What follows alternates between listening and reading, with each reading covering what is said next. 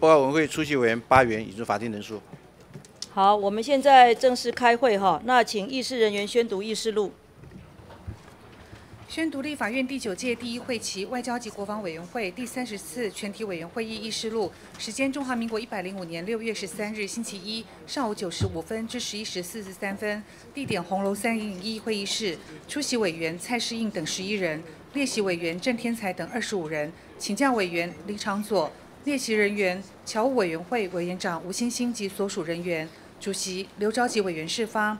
报告事项：一、宣读上次会议议事录，决定确定；二、邀请侨务委员会委员长吴欣欣报告业务概况，并被质询。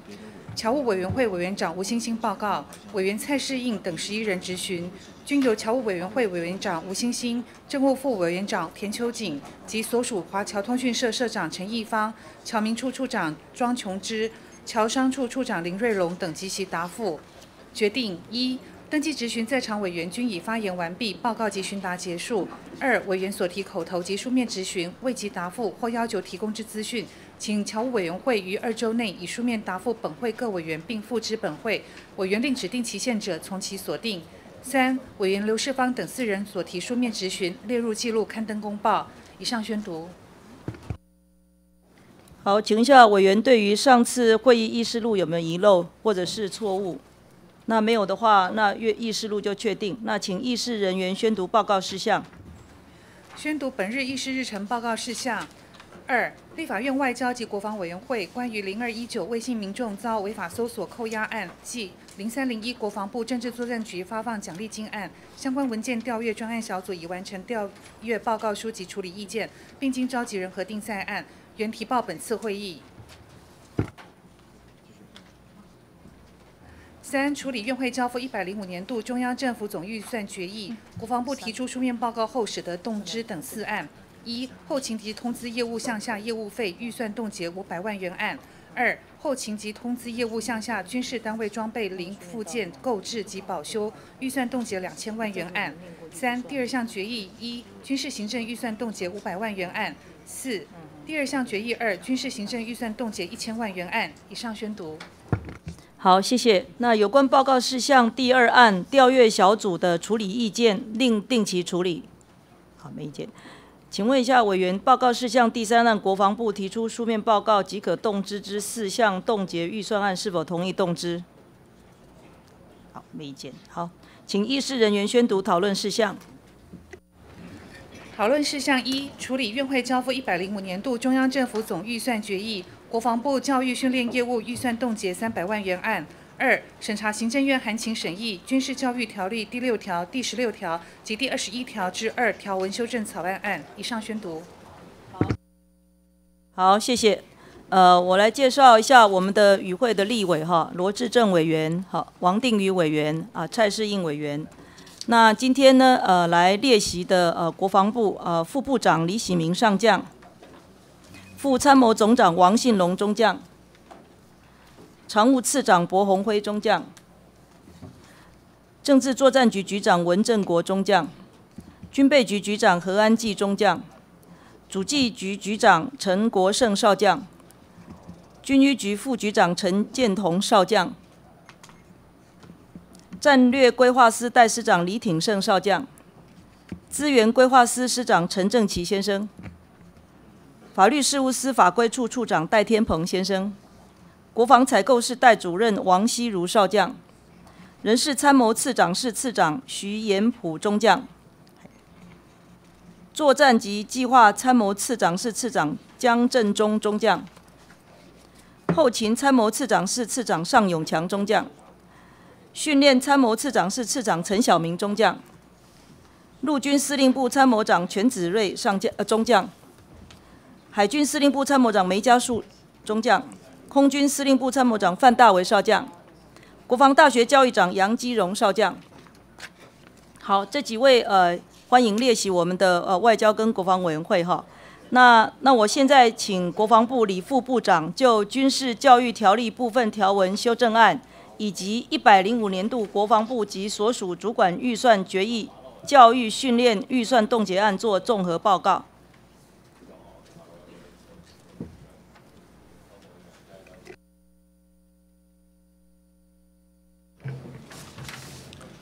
呃，主席啊，各位委员，先进，今天大院外交及国防委员会审查军事教育条例的第六条、第十六条。第二十一条之二的修正草案，本人应邀列席报告，深感荣幸。《军事教育条例》自八十八年七月十四日公布施行后，历经四次修正，最近一次于一百零二年十二月十一日修正施行，之为使现行国军教育体系上更具完整性。提供自愿役现役军人利用公余之暇，得于营区就读学位在职专班之进修管道，便利其就近攻读学位，同时兼顾战训本务。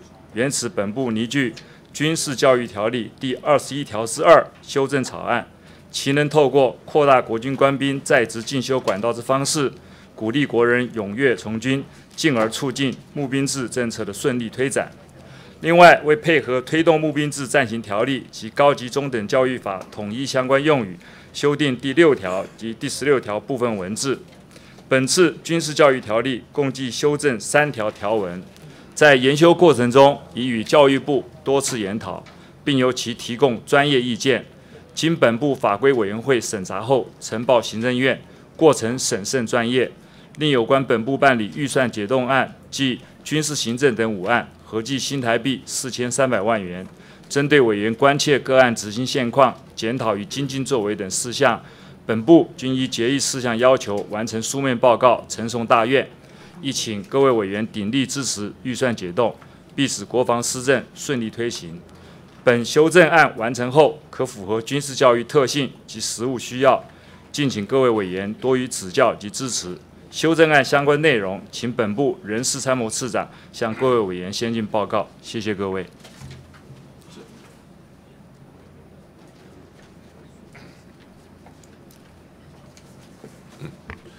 呃，主席、各位先进，呃，本部研拟之军事教育条例第六条、第十六条、第二十一条之二修正草案，全案报告及区分政策目标、修法重点、相关法令影响评估。执行之员额及经费影响评估、冲击层面影响评估等依序报告如后：一、政策目标。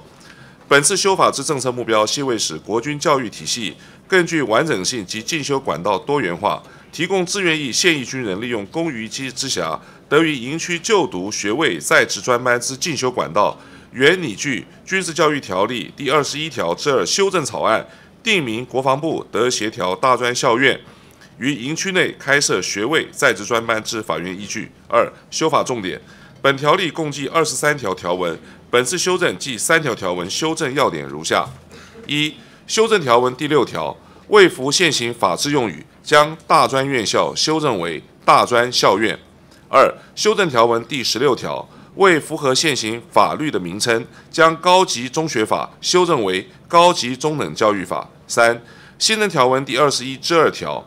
增订国防部得协调大专校院于营区内开设学位在职专班，并授权订定相关招生办法。三、相关法令影响评估。本条例为本部军事教育之法律，本次部分条文之修正，并不影响其他法律之执行，其他法律亦无需配合检讨修正。为修正公布后，应并同修正本部现役军人营区在职专班招生办法法规命令。被配合军事教育条例同步实行。四、执行之员额及经费影响评估。一、本次部分条文之修正无需增加员额。二、配合现行国军军职人员公余进修实施规定，针对学位证照进修已有补助的规定，将不另增加政府的预算。五、冲击层面影响评估。本次军事教育条例第六条、第十六条、第二十一条之二修正草案，已邀集教育部、本部法律司。等单位召开多次征询及研商会议，符合法治作业之原则，并有利军事教育体系之完整，对于募兵制政策长期推动，具有宣导鼓励国人从军与兵源稳定之正面效果，无相关冲击的影响。报告完毕，恭请指导。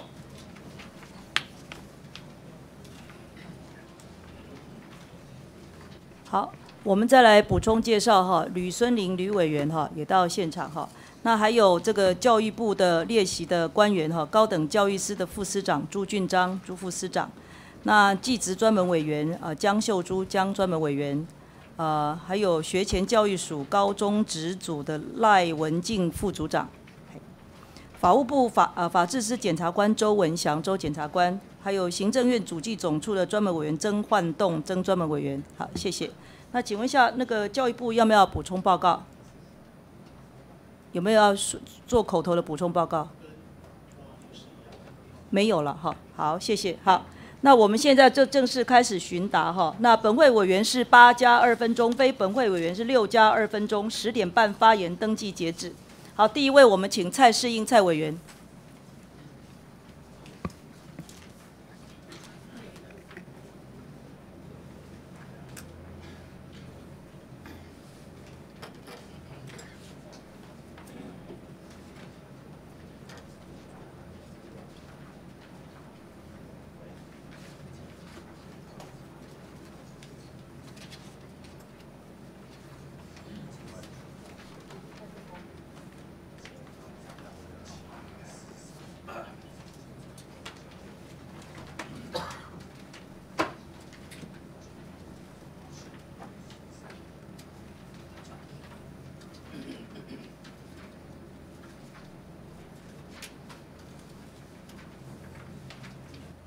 呃，主席能不能请国防部副部长就备询台？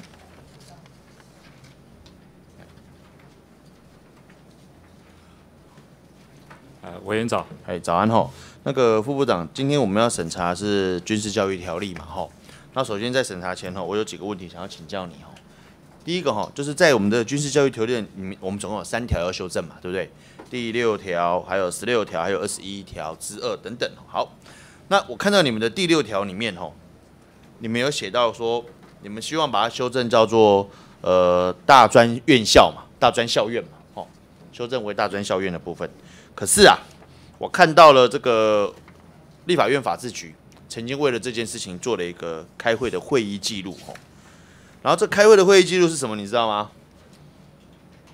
他希望把它改成叫做专科以上学校才对啊。好，那我不晓得说我们国防部知不知道这件事情？呃，鲍委员。这之前在讨论的时候，因为这一部分是我们和教育部啊在共同研讨，当时是为了法制用语，所以是在教育部还有我们各法制单位共同研讨之下，把这一部分的名称做了一个调整。但委员这一部分所提出意见，我们是不是再跟我们再跟教育部再研究一下？教育部也告诉你们说是要写专科以上学校啊，对，所以我才说你们都没注意到哦。是报委员，我们在你们的你们的人吼，你们的人，我先讲你们的人吼。是这个会议里面，你们的人是这样讲了，是讲说大专校院呐，然后就你们就讲了理由一堆吼，讲完之后，教育部里面的回复，你们就写说，我们都已经把它改成专科以上学校了。所以我是建议第一个吼，是就是在第六条的法规的部分，我是建议把它改成专科以上学校哈。那我觉得其实对整个案子其实没什么太大的关联性，没有影响，影响不大。然后在为什么会这样讲？因为我们有曾经做过评估报告，这个座谈会吼，什么时候召开的呢？就是二零一六年的四月十五号，针对这个事情所召开的这样的一个呃报告的座谈会吼。那我想请教一下，这个座谈会里面吼，第十六条，第十六条，那我想问一下，我这个我不是很清楚，副部长想请教，你的第十六条的学校目前是适用哪些学校？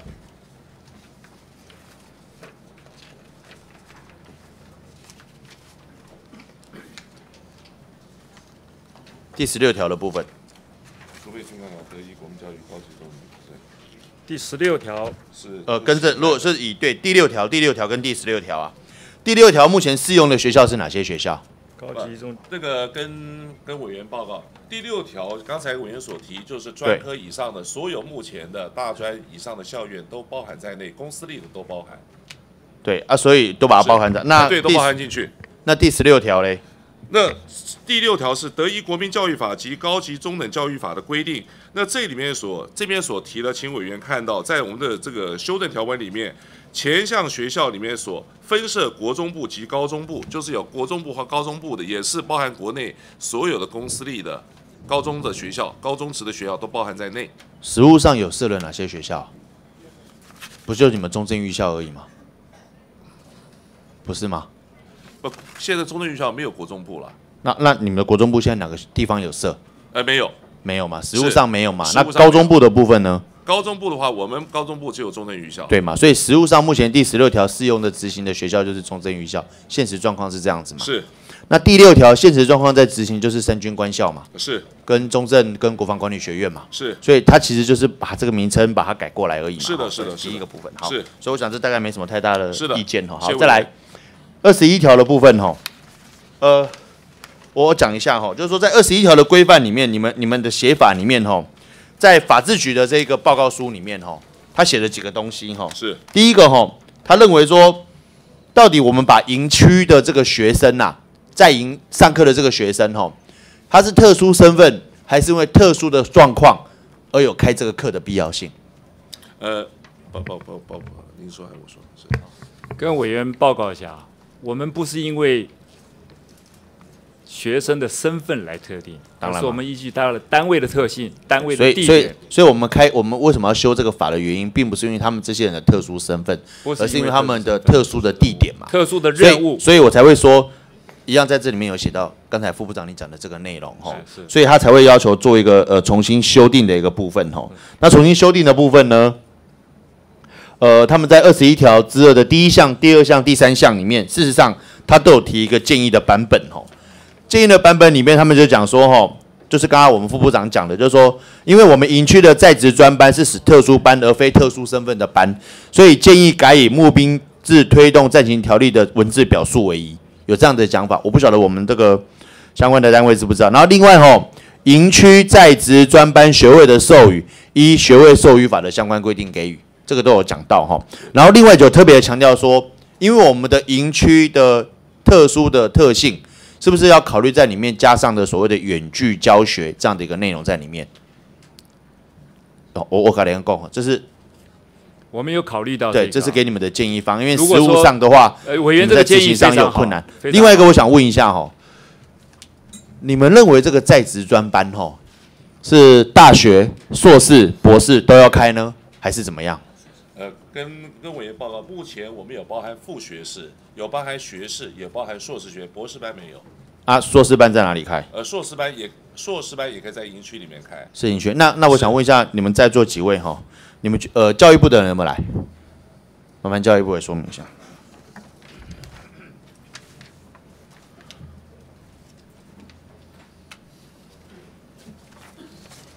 委员好，你们的态度是怎么样？在营区里面开副学士班、学士班、硕士班，对目前我们跟国防部的讨论结果，基本上是开到硕士的成绩，博士成绩目前是不考虑，对啊，那你如果这样的话，那以后他的硕士要不要招考啊？还是直接报名就？还是要公还还是要经过招考。那、你的招考怎么招考？招考目前我们就变申请了啊，因为你在营区，这个营区就几个人而已，符合资格可能五个人，你要录取几个人？它是以单独招生来看，那学校还是会就学生他提报的资料来做审查。对啊，那所以问题是你的报名人数就有限呐、是所以所以你的硕士硕士在专班你怎么开？你根本开不起来啊！你除非就是全部都念，否则你怎么开？基本上学校跟国防部在协调的时候，好，会去就整个开班的一个我我不是建议这样子好不好，副部长，副部长，我想请教你哈，我们开我们做这个事情哈，其实最主要是因为募兵制的问题啦，对对不对？我们希望呃这些人在军旅服役的生涯过程当中，也能够做这些事情哦。我不是比较建议的做法是证照班要开，至于给学位的班，我是觉得你们可能要再考虑一下，因为给学位的班会衍生很多的问题出来哈。如果今天我们是给他学分班，OK，如果说要给他们进修学位的话，现行的办法里面就有在营的官兵赴大专院校进修的规定。那为什么没办法落实的原因，是因为部队的长官不愿意放人呐、所以我倒觉得，其实如果今天我们要鼓励募兵制这件事情的在营的官兵有机会在职进修的话，你是不是就这个部分来做放宽，会远比说我在营区里面开设来相关的学位班来的更好啊？因为你开设的学位班，阿兵哥有选择学校的权利吗？我看也没办法吧，因为是由你们直接国防部跟某些学校签好了约嘛，不是吗？跟委员报告一下，委员刚刚提到的那个证照班呐、我们开的比学分班还我当然知道证照班，所所以我支持你们开证照班。那以我以谢谢委员的支持。那但我是说，学位班你们是不是要再重新考虑一下，会有这些问题我。们会考虑市场的问题，呃，我们会好，这等一下再讲。然后另外我简单说明一下哈，就是刚刚募兵制的部分哦，网络上有提了几个东西哈，我不晓得你们有没有看到哈。对，对于我们的募兵制一直没办法有效的能够完成，他提供了几点的建议方案了。第一个，没有做好人力管理的概念；第二个，注重表面的绩效，未能识人用人；第三个，照顾部署成为空谈；第四个，崇尚浮华的表面功夫；第五个，官威凌驾专业，不求进步；第六个，军事教育死背准则，不知变通；第七个，资料严重造假。这是许多基层的军官在网络上的留言。好，那我想说，副长你也参考一下，为什么他们这去仔细想一下，我们是不是有需要改进的一个部分？哦，再来吼，我们的新部长曾经讲到说，我们有个重要的文物，现在未来要继续保存下去，这个晓得嘛？哈，那我们的陆联厅啊，嗯，我来跟他说花了多少钱？陆联厅，报委员，我这边是市长跟您报告一下。那么陆联厅啊，它是核定的这个市定的古迹。那么哎事实上，它过在过去市定古迹哦，呃是是台北市市定古迹，是是所以因为台北市有市定古迹，所以你们赶快要把它付这个卡维修完不是我。们不是赶快，我想我们对于这古迹的维护啊不遗余力。好我们有主动编预算去维护古迹，好，那所有的市定古迹你们都有编吗？没有。但是我想在那为什么这个编，其他不编？我我跟委员报告，我这个因为它有特殊的一个一个一个历史的一个一个价值，所以我们市定古迹当然就有历史价值那当然，但是就是不然的话怎么会成为以跟市定古迹呢？国防呃这个这个事务有关的部分啊，我们觉得我们选定陆联厅是有它的，目前它不就是陆联厅餐厅嘛？呃也不是餐厅，因为它还有保留很多这个所谓古迹的这个部分。所以当然知道，所以它是市定古迹，所以你们编预算去整修嘛，是没错嘛。好，马继传将军的官邸有没有列为古迹？有没有？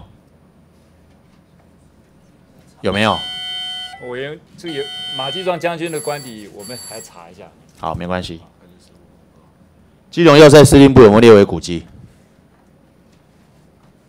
我告诉你有啊，市定古迹呀、你们不维护啊？那你副部长，你刚你刚刚讲了嘛？为什么陆联厅你维护？为什么基隆要塞司令部也是市定古迹，你们就不维护啊？为什么？哎，报委员，基隆要塞司令官里的土地啊，我们已经移给国产署了，那他也给无偿拨用给那个。呃，那我啊，你为什？么？那你为什么陆联厅不拨用？你这个要拨用给国产署？哎，土地的权属它不一样，所以说，原来是你们的嘛，哎，要要塞司令官是我们建设在使用。对嘛？那我为什么你们当时就不编预算把它维护好啊？为什么啊？为什么我刚刚讲的，你们的陆联厅这使用中的使用中的一一个对不对？是它的使那所以就而且用情况。当时基隆市政府就有跟你们讲过，说希望你们来维护啊，你们就说你们要移给国产署啊。呃，跟委员报告，它是变成非公共财产之后就没有使用。因为开会我去开会，我知道。是我只是要告诉你说，你们有许多的古迹都没有维护啊，所以跟部长讲说要维护，你们都没做啊哦。那这里面哈，我现在再确认一下哈，之前有讲说你们要出餐的哈，陆军联谊厅嘛，北投医院、中烈祠、中正预校、航空教育博物馆，这些还有没有变？呃，目前都在做这个评估，所以都还是这些就对了，是不是？没没有。那中烈祠，我想请教，大家都很关心中烈祠你要怎么做出餐呢、呃，我跟委员报告，以前在前一阵子啊，媒体有报载，就是说中烈祠是一个非常严肃的地方，我们为什么要推动出差？那么事实上这个部分，我们是跟财政部的出差是有做过一些所谓前期的所以财政部建议这个方法不不不是建议中烈祠可以出餐它的评估出差的有它的条件，他不是说任何一个任何一个场地都可以做出差。他除了发挥他所谓所谓，那我问，你，这个是中烈祠，这个是财政部建议的吗？我们呃就是选案以后，财政部所以所以是你们提的，不是财政部提。因为提案，当然是我们提啊，但是提案是你们提的嘛？所以是，那你到时候给我一份资料，为什么你们内部认为中烈池是一个很好的出我产的地方？我跟委员报。告一下，那么事实上这个案子目前还在评估对所以你们还没但是我们当初的起系呃这个你们什么时候开始我我我知道哈，你们什么时候开始评估的？我们是在去年，对啊，嗯哎，到现在半年多了呢。副部长，你不觉得这时间拖很久？每件事情都要搞一两年去评估，我刚刚您效率加败吼。包委员，我我想啊好，没关系，我再讲完嗯。文化部其中施设在哪？各位知道吗？副部长，你晓得在哪里？你也不知道哈？哎，Hello，市长知不知道在哪？不晓得也不晓得。我跟你讲哦，很奇怪哦，他哦就在马继庄官邸的对面而已，也是在对面而已，同样是你们国防部的啊、哦，这个左右差很多啊，隔一条路而已啊。好，那为我说我刚刚就在讲过了嘛，你们的你们你们在推动的一个整修，我都觉得蛮奇怪的哈、有一些当然是文化部去要求的，那有一些你们自己都不做哈、所以最后的结论，我希望我们副部长回去哈、完成部长交代的任务，全面清点古迹，然后一个月内提出我们目前我们国防部所属的银色被列为古迹的清单出来，以及你们的维护计划。哦，以上，副部长有没有问题？啊，没问题。一个月哦，一个月，这很重要哦。好，谢谢。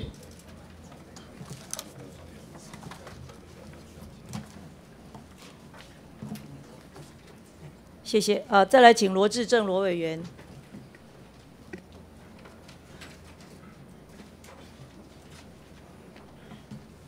呃，主席可不可以请副部长还有人事参谋次长？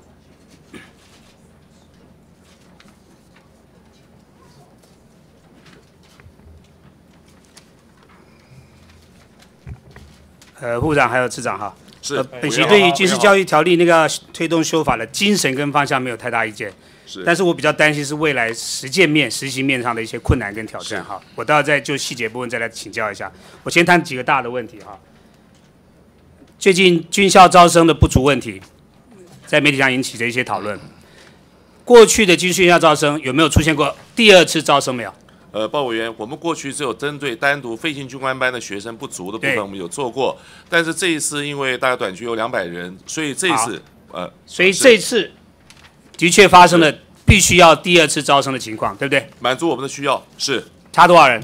大概两百人左右，两百一嘛。是你们给的答案，其实我们每我本席每次在问问题，不是要给你们找找麻烦，是的，是的，只要我们一起找问题，然后找到解决的答案。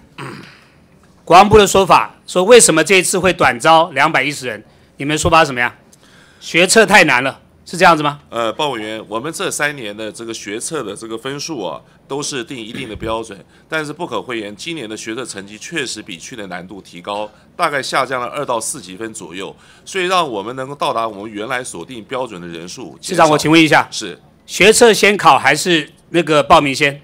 呃，我们先报名，但是我们在招生简章当中啊，因为也跟委员报告，我们现在的这个军校的一个招生的部分啊，是在各学校在定招生简章的时候，就把我们各学校系所他所需要的各级分啊，在所以学生在报名的时候应该自己知道有多少，对不对？都知道都都知道嘛，都知道所以他不达到积分就不会去申请啊。就是报委员，就是我们先定了招生简章，他在报名的时候，他也知道这个积分大概是多少。对可是考完之后，但因为今年的这个难易程度，当然造成了一些影响，所以让今年到达这个积分以上的人数相对的减少。可是吗？是你们说法不是这样子哦。是今年申请人数也是在五千左右，没有比较少啊。不？可是报委员就是成绩出来之后，能到达我们锁定积分好，多少人？你不不给这个数字，多少人？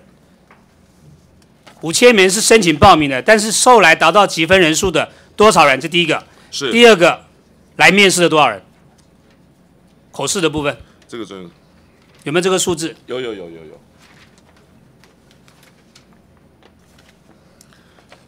分数只是其中之一是个问题，不是唯一的问题。如果你们把答案都给说那分数太高了，学车太高了，那门槛太高，所以达不到，那个是只见雨欣不见整个大的问题啊。是好，达到积分来报名，五千人里面有多少人达到积呃，分？报委员，我们这次体检人数总总共是五千八百零二元，男生是三千八，女生大概是一千九左右。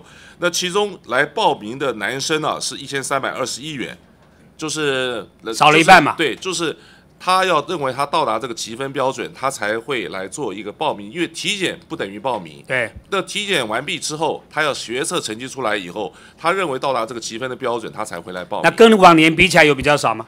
呃报的比较少一点，比较少哈，是是比较少，但是什么原因我再告诉你。是但重点来了，你们二招有降低你的积分标准吗？报报报委员没有哎我们报委员，因为我们基于考试的公平性，我知道那我们还有三百多报委员，我们去过滤过，大概有三百多个学生，他到达我们的积分标准以上，可是呢，他有完成体检，可是他没有来报名。那为什么没有来？不，因为他可能他的分数可以到达外面的学校的录取的标准那。他不会来还是不会来啊？呃，不，我们每一个都通知，为了要满足我们的需要，我们每一个都通知。所以你们一个个去问了，一个一个去问，那不错啊。那对，每个愿意来考的人数大概多少？呃目前大概有将近四十多位，四多多四十多位了。四十多还不够啊，我们要两百亿啊。报报委员，我们尽量争取，能来一位我们就来一位，好，我担心就是说你们的标准没有任何的改变，没有改变。对不对？是问一问一下，中正预校中队今年达不到积分标准，三十六位，三十六位，三十六位嘛，是跟往年比起来有没有比较高？不差不多，差不多吧对，。我们今年大概百分之八十六左右。所以百分之十四大概就转到呃士官班去我。们的专科学校、陆军专科学校还有空军的航机学院等学校，依据他学生的志愿。OK，我们一起来努力解决一个问题。是的，谢谢委员。这几年下来，看到没有？一百零三、一百零四、一百零五，今年哈，所谓的报名人数，事实上有一个趋势在走。虽然去年人比较多，但今年大概只有五千八百多。刚才那个次长提到了嘛？是是是你有没有注意到一个趋势？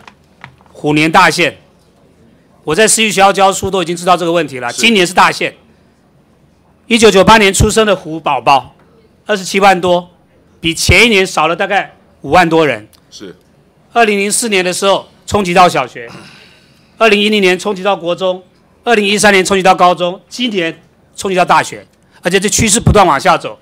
到了教育部自己的评估哦，教育部同仁也在哦。到了二零二三年的时候，会有四十所学校退场失效，八到十二所国立大学要整并，造成一万多名的老师要失业。我们国防部到底有没有面对这个所谓少子化的问题，做了应应方案？因为整个普尔变少之后，军事院校的招生也会有同样的挑战啊，一定会。一定会嘛？那我们做了准备没有？报委员，我们也在做准备了。怎么准备？报委员这一部分特别。下次我们要做一个专案报告，我要请主席拜托一下，是因为很多私立学校内部都紧张的要死。是我们博士班已经裁掉了，硕士班因为刚才涉及到待会要讲的那个所谓军事教育条例的问题，整个少子化之后，很多学校开不出课来啊，因为学生没有了。好，征兵南路逐年激增，这两天的报纸讲，内政部公布，十六万人本来是所谓征兵吉林的年子，呃男子，大概只有十十四万多，里面只有十三趴是可以被征兵吉林的，知道什么原因吗？是啊，就是说，征兵吉林男子哈，今年的有十六万多人，可是国防部大概只能征到十三趴，知道什么原因吗？呃，报委员，我先跟您报告一个数字啊，报委员，我们一百零五年我们计划征集一一年期的这个义务役士兵是两万三千一百人，到目前为止呢，我们的计划征集计划是五千七百六十二，那目前实际征集是六千四百六十六，征集率是到达百分之一百一十二点二。那另外常备兵役区就四个月的计划征集是六万两千两百四十六，到目前的计目前为止计划征集是一万九千七百五十六，实际征集一万九千四百零四，征集率是九八九百。我我知道那个是那个数字没有问题，我现在讲就是说，你知道什么原因吗？哦，抱抱怨，我先把前面说完。第一个，在今年的这个征集部分，两万三千一和我们的常备兵役军训练，今年我们跟议政署协调，全部如期如期达成，我还怕训不完。这一部分绝对没有问题，嗯但刚才所谓委员所提到这个吉林男子这个征兵这些问题啊，帮我再请我告诉你答案很快了是，在学率啦，是很多人在延毕啦，是所以你的铺额会变少嘛，这是一个大问题啊，我们一起来解决，是而不是说不是问题。所以我不断强调跟外跟国防部讲，我们不要回避问题，我们要找到问题的答案，才能够真正去找到问题的解决。是好，回到军事教育条例，很快的哈。那个副部长或次长，您知道一般大学毕业要多少学分吗？一百二十八，对不对？是甚至高到一百四，如果特别是的特别的这个领域的话最，基本一百二十八。那平均一个礼拜上多少课？我们军事院校是一天一个礼拜上五天课，五天课哦对对，我们是上五天课。所以学分班不是学分班，学位班，如果在部队里面开的话，我们再打对折好了，有一半的时间训练，一半时间上课，要八年才读完硕博学士，哎，呃，是的报员跟委员报告一下。那今年我们在跟各策略联盟学校，目前我们跟大概有十六所学校在做策略联盟。那我们希望跟策略联盟里面，我们大家希望采阶梯式的一个。什么叫阶梯式阶梯式就是他先修到副学士，副学士二专二。那如果他本来就有高中了呢？高不高中就先修副学士，然后那副学士修完以后继续修学分，向学士迈进，就是采取累进的方式。那回到我刚才讲的嘛，是的，如果他的目标是学士班，你知道他要修多少年？不可能要当四年是绝对修不完，当然修不完，一般大学生都五年六年的读不完了，是是是四四年怎么可能修得完？是那一个士兵或一个士官在一个一个营区里面待四年到八年，这机会大不大？同一个营区，呃，报报员将来机会会蛮大的，因为我们将来募兵制之后，原则上所有的这个服役的志愿士兵都在眷驻地附近的这个单位来服役。对。可是回到我刚才讲，就是说，因为他们上课的时间要占掉他们演训相关训练时间相当大的比例，是那同时也拉长他休业的年限。我现在讲的是实务上，是的，原则方向我没有太大问题，实务上这个怎么克服的问题。我跟委员报告一下，我们也跟这个学校研究啊，就是说不要像是一般的学制这样子，有放寒假、暑假这样，因为我们要可能不在，可能要去训练什么，所以变成打破，变成比较弹性的。所以这就是一种做法嘛，甚至所谓的试训啊等等哎，我们暑假的时间，我们反而可以修，呃，可以来修这个学分。所以我是希望就是说，国防部一旦有这样的一个法令的依据之后，要赶快拟出具体的一个做法，是的，是。否则这只是空谈呐、是。是。而且甚至某些部队，作战部队永远没有机会啊，了解。永远只有后勤单位，甚至就是你们在国防部里面单位这种才有可能有机会可以修学士、硕士，那一种不公平的地方啊。另外一个不公平在可能出现在什么地方？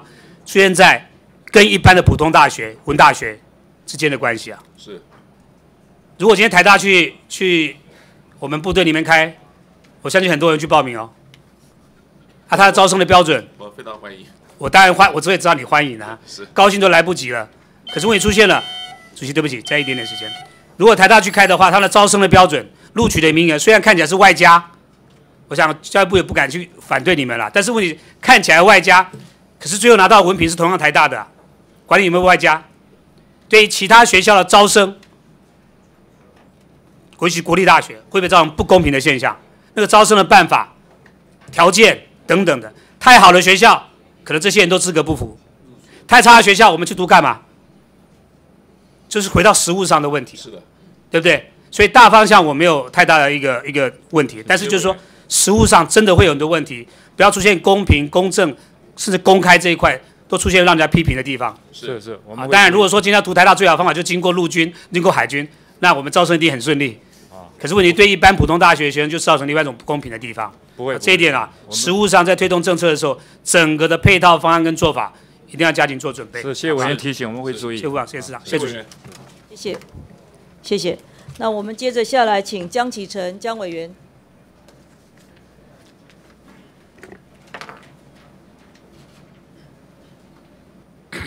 好，主席啊，请这个副部长。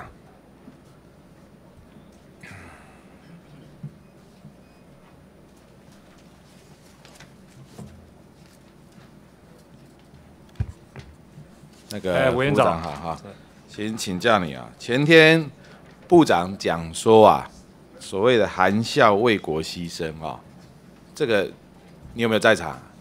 呃，我有在场。那你是怎么解读？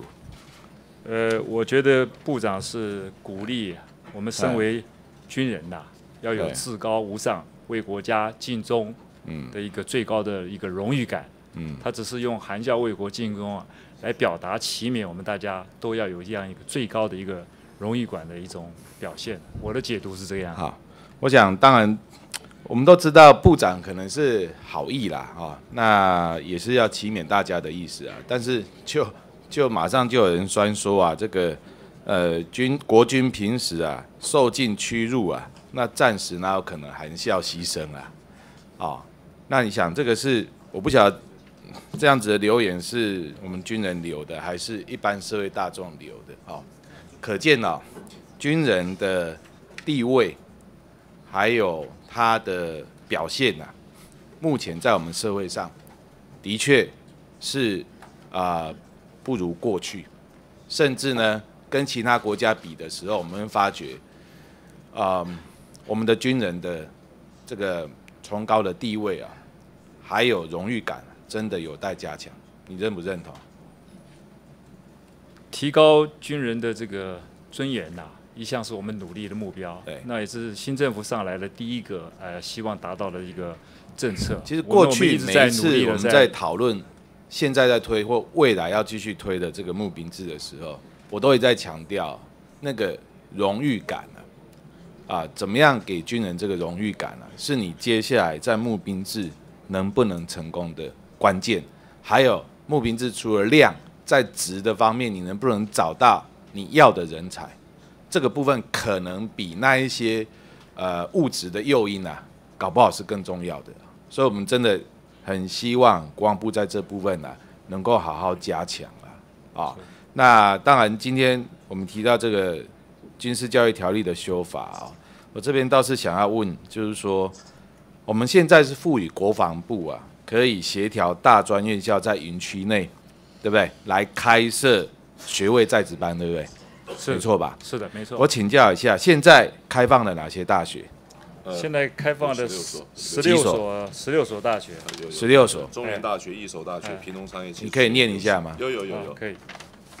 委员跟您报告一下，目前现在我开放们开放的有台北城市台北城市科技大学、嗯。康宁大学、明星科技大学、一所大学、嗯。和春技术学院、大华科技大学、朝阳科技大学、嗯。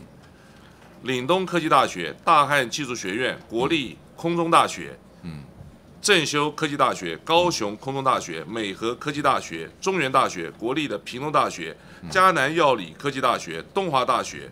请问这公私立的比例是怎么样？那个呃私立绝大部分私立大部分比较多私立嘛私立比较多。那筛选的标准是什么？你们让他来开课，你们筛选的标准是什么？我们跟他做一些合作，哎看他可以提供什么样子配合我们的这个状况。哎只，要他符合这些学分、学位班的这些标准，我们就愿意跟他做一些合作。好，我这边要提出一个提醒啊、为什么？因为其实台湾的高等教育也正在转型。我还记得，呃，前任的教育部长的时候，他还说，五年内要关五十所大学，对不对？啊，然后呢，今年一月的时候，教育部也说明了退场机制，就是如果学校有超过三成五的单一科系出现学生人数低于三十人，新生注册率低于百分之八十两种状况，就会列入教学品质专案查核。目前有十七所列入。我请教，你刚刚念的那十六所有没有在这十七所的名单里面？呃，包委员我不是很清楚，我要再了解一下。你不是很清楚啊不？是，这点我并不是很清楚。我希望国防部你要小心、啊。是的，你不要、啊、这个开课开到一半那一所被人家强制退场了，那你就很糗了啊！当然，我在这边我不宜讲说是哪一学校，但是你刚刚念的那些学校，我希望你好好去查一下，了解。你一定要做 double check 啊，因为我们不要到时候国防部要闹笑话出来啊。那你你这样子的话，你到时候你的募兵诱因又没了。啊，本来你想要提供这些来募兵制的学生进来说，哎，这是阿兵哥进来，我给你一个进修的管道，结果你你你签的那一所学校，哎，开到一半，哎，居然要退场，那就很麻烦。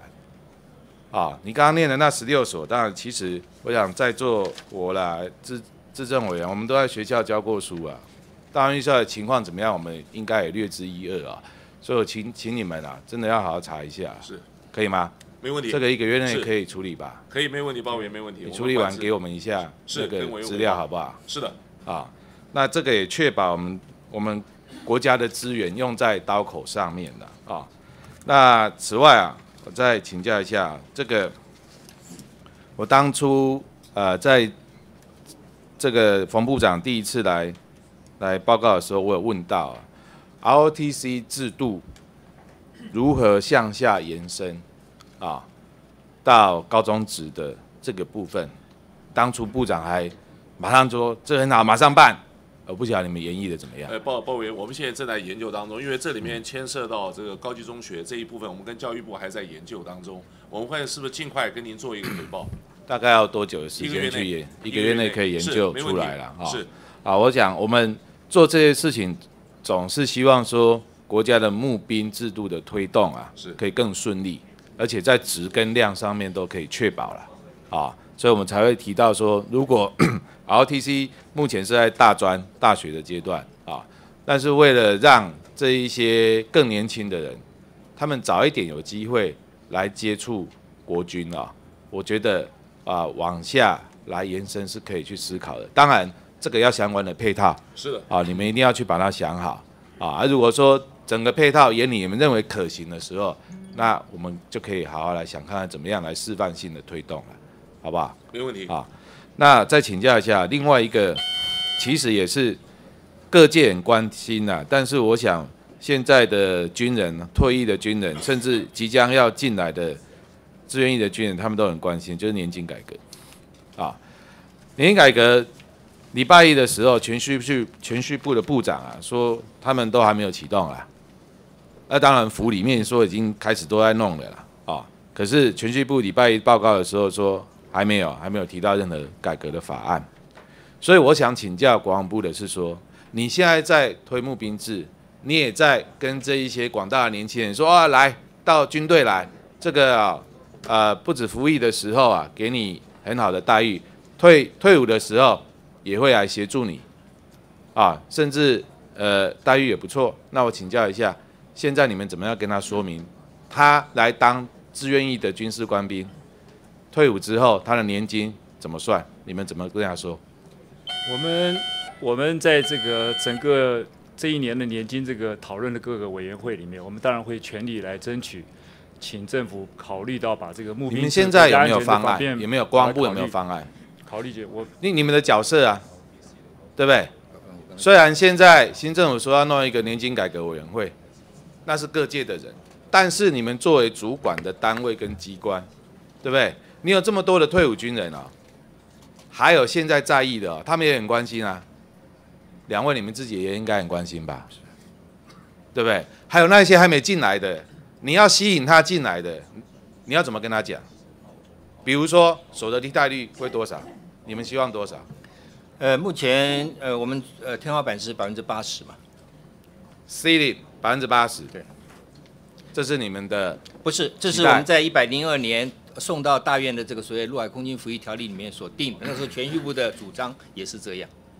理想跟现实，你们要怎么样去拿捏啊？我们看一下，这个是去年啊，去年这个政府机关，哎，不知道是你们，应该是国防部给我们的资料啦，啊，我们相关的退伍基金的状况啊，支收比啊，军职人员的在一百年的时候啊，他的支收比已经超过一百了，实际上意思就是说这已经有一点危险了啦，啊。那那个周部长礼拜一的时候是说，军人啊是在一百零九年的不的时候会没办法支付。依照这个第六次的精算报告，哎，如果说不提高提拨费率，依照现行的操作绩效来评估的话，一百零九年破产。一百零九年就不保了嘛，是，对不对？那所以你们现在的年金改革，你们的立场是什么？你们立场就是你刚刚讲的，就是百分之八十的替代率是不是？也不是，我向委员报告，呃，整个年金的注入当时国家非常重要的这个这个政策嘛哈。嗯那现在在积极在推动，但是我们认为军人他是一个非常特殊的一个一个一个一个行业哎跟工作，哎他的工作呃环境、工作内容，还有它的福利制度待遇，都跟一般这个所谓公教或其他百姓是不太一样的，其他行业不。所以你们内部有整合过吗？我们有有，我们一百零二年就有提出我们自己的版本，一百零二年的版本是那所以一百零二年的版本就是百分之八十，是不是？那个时候，因为行政院在九十五年有一个所谓所那现在有没有变所得合理化待遇方案？现在有没有改变？现在我目前是朝这个方向来做争取。所以还是没有改变，还是以这个做目标嘛因。为刚才委员讲的非常重要一点，就是说如何让这支军队，还有不管是以现在准备要进来，或者是已经退出役的，他能够安定他的这个呃这个心情，然后稳定这个国家。所以我刚刚问就是说，在整个年金改革里面，第一个国防部的立场，啊，你们确定了没？第二个，你对于即将要进来的这一些人，你拿什么告诉他？你你到时候不要要又要发生所谓的信赖保护原则的问题啊！你现在募兵的时候跟人家讲说，哎、你进来哦，你退伍的时候啊，我保证你啊，月退领多少哦。哎、结果到时候年金改革一改，哇，糟糕，你失你这个食言了，那怎么办？包委员，现在目前很多这个呃各界都有不同的这个意见、看法。哎那你们要不要不要要不要赶快整合出来？是我们已经有一些还有你必须跨部会去把你们方案给定掉啊！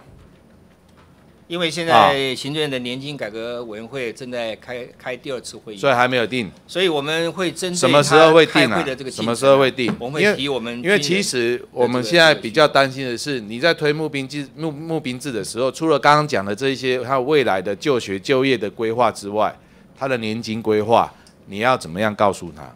是对不对？你总不能糊弄他吧？不会，我们很明确的。如果说国家的制度定了，那我想这个就必须要用事实来告诉要进入军中的这一群。好，这部分我们也应该要求你们了，看能不能、啊、在最短的时间内啊，我是觉得应该你两三个月内要把这个东西定案了，因为依照新政府讲说，一年要把年金年金改革搞定哦，一年哦，啊，五二零算一年就是明年的五一九。那你们国防部各部会的这军人的体系这么大，你们不敢不不不赶快定案吗？报告委员，我们所有三个月定案可以吧？所有的这个规划复案都会经过大院的审议，我想我们会按照时三个月可不可以提出呃我们的看法。我想我还是要国防部是行政团队的一员，我们希望就是说配合你这个要不要开公听会啊？呃会开会开会开，什么时候要开？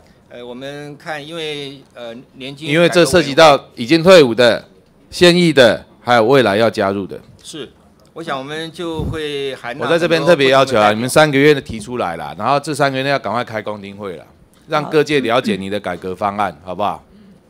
报委员，我们会尽快，可是啊，这是一个不是一个单独我们一个军人的年金改革，这是一个整个国家的年金改革。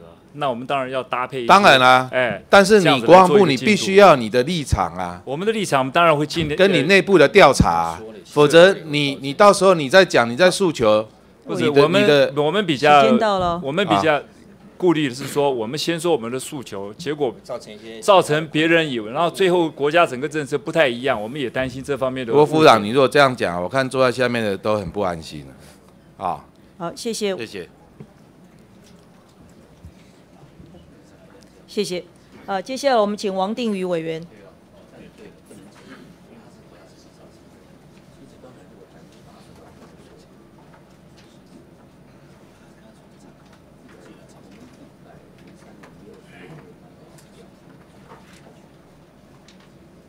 呃，谢谢赵伟哈，呃，麻烦副部长。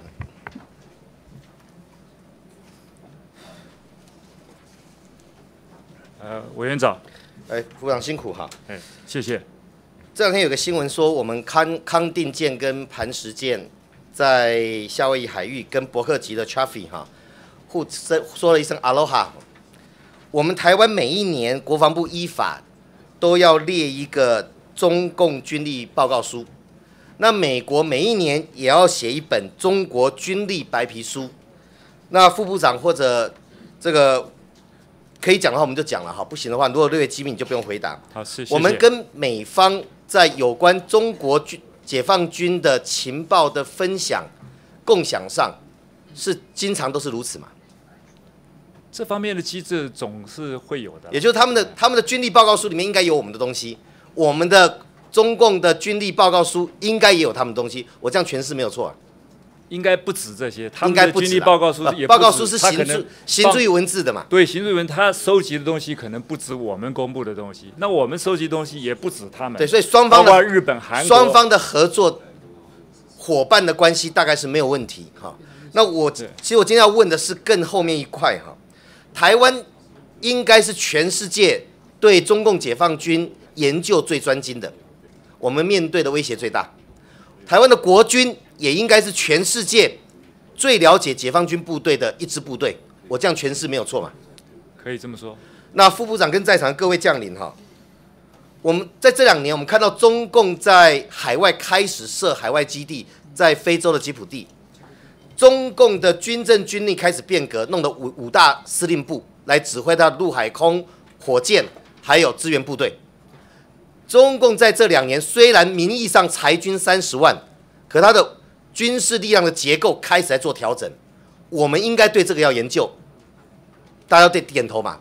可我记得我们前几天我们在委员会询答的时候，其实对这一块的掌握，包含报告的研读，事实上是不足的，而且甚至于只研读报告，那个都属于肤浅表面的。所以我请教副部长或各位哈，目前国军在人才的培育，在教学学术的研究，对中共的解放军是放在国防大学哪一块？我们国防大学除了这个战院、这个这个参谋学院有，我我在精准的我们有一个专门一个解放军的研究班，对中国人民解放军军力研究，我们在人才的培育、学术的教学，我们是放在我们今天讨我们今天要修的，我们要讨论的法律是军事教育，是放在军事教育机构里面的哪一块？我们现在国防大学里面有一个解放军研究班，不只招收我们自己的人，还包括国际的学生。十五加二了，你们大概就是有一个一个比例。对，那你觉得这样够吗？这个解放军研究班或者解放军研究组，好，副解放部长解放军解放军的研究啊，永远不足啊，我们永远需要那个是口号啦。我现在讲是具体的量量能，就最好越多越好。但是我现在这我现在牵也牵涉目前的量量能，师资够不够？研究的内涵够不够？培训的人员够不够？放的那个位阶对不对？徐中将或者是副部长，你你觉得够还是不够？你们历年是有写一些新闻稿出来的、哦，呃，委员好，我是国防大学教育长。是，请说这个刚。委员所提的哈，我们现在对中共解放军研究，我们自己学校里面有个国际战略研究所，就是战研所，他对解放军研究，包括他的师资都是非常专业的。你那个是有的科目放在战研所，哎是，你们专精的是放在政治系下面的哎解放军研究组嘛？所以我再继续讲，就是说，我们去年啊八月份也成立了一个解放军研究中心。我们的解放军研研究研究中心会邀集所有的专家学者，包括所以它是一个编任务编组。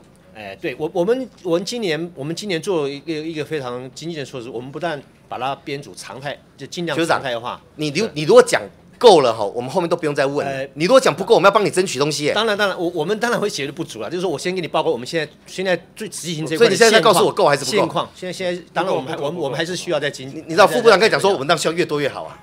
但是国家资源有限，我我今天要跟你们沟通这个问题，就是说，我我们都理解台湾的国军面对的困境，我们真的是，我也不讲可怜，我们真的很努力。我们这么努力，香格里拉会谈没有我们的位置，全亚洲把我们跟北韩排在排在外面，北韩是该被排在外面，我们是被我们是被杯葛的。我们跟美军的交流是必要而且实质存在，可是其实是弄在一个切身为民的隐晦的方式。然后呢，我们应该对解放军，全世界最值得骄傲的应该是我们国军啊。我们不只有实战经验，我们面对他那么久了，我们怎么可能，我们怎么可能不是全世界最了解的？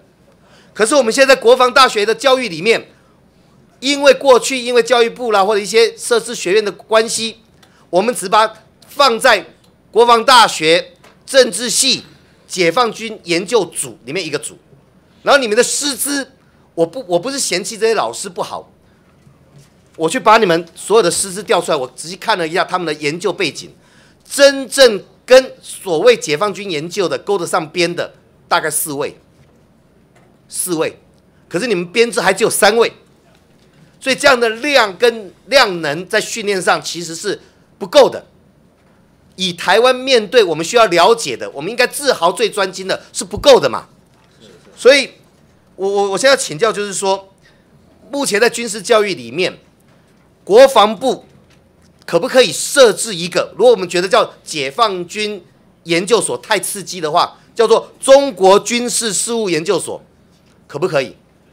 法律有没有授权国防部做这个事情？副部长，你们能还是不能？这个是不是将来要在国防大学里面？要先看看这个委员所讲的这个事务研究所它的定位。我们现在能能不能再讲要不要嘛？能法律上有没有授权国防部可以在国防大学里面设置一个解放军研究所，或者叫做中国军事事务研究所？如果不设教育部这些学位的限制的话，那没有问题啊。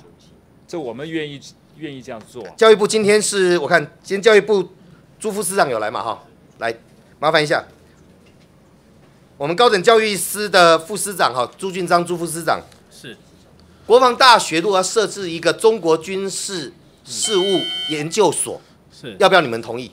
呃，如果有涉及到学位授予的话，好，由国防部先规划好之后报部里面，那我们会一起会提供一些审查意见，让国防部做参酌。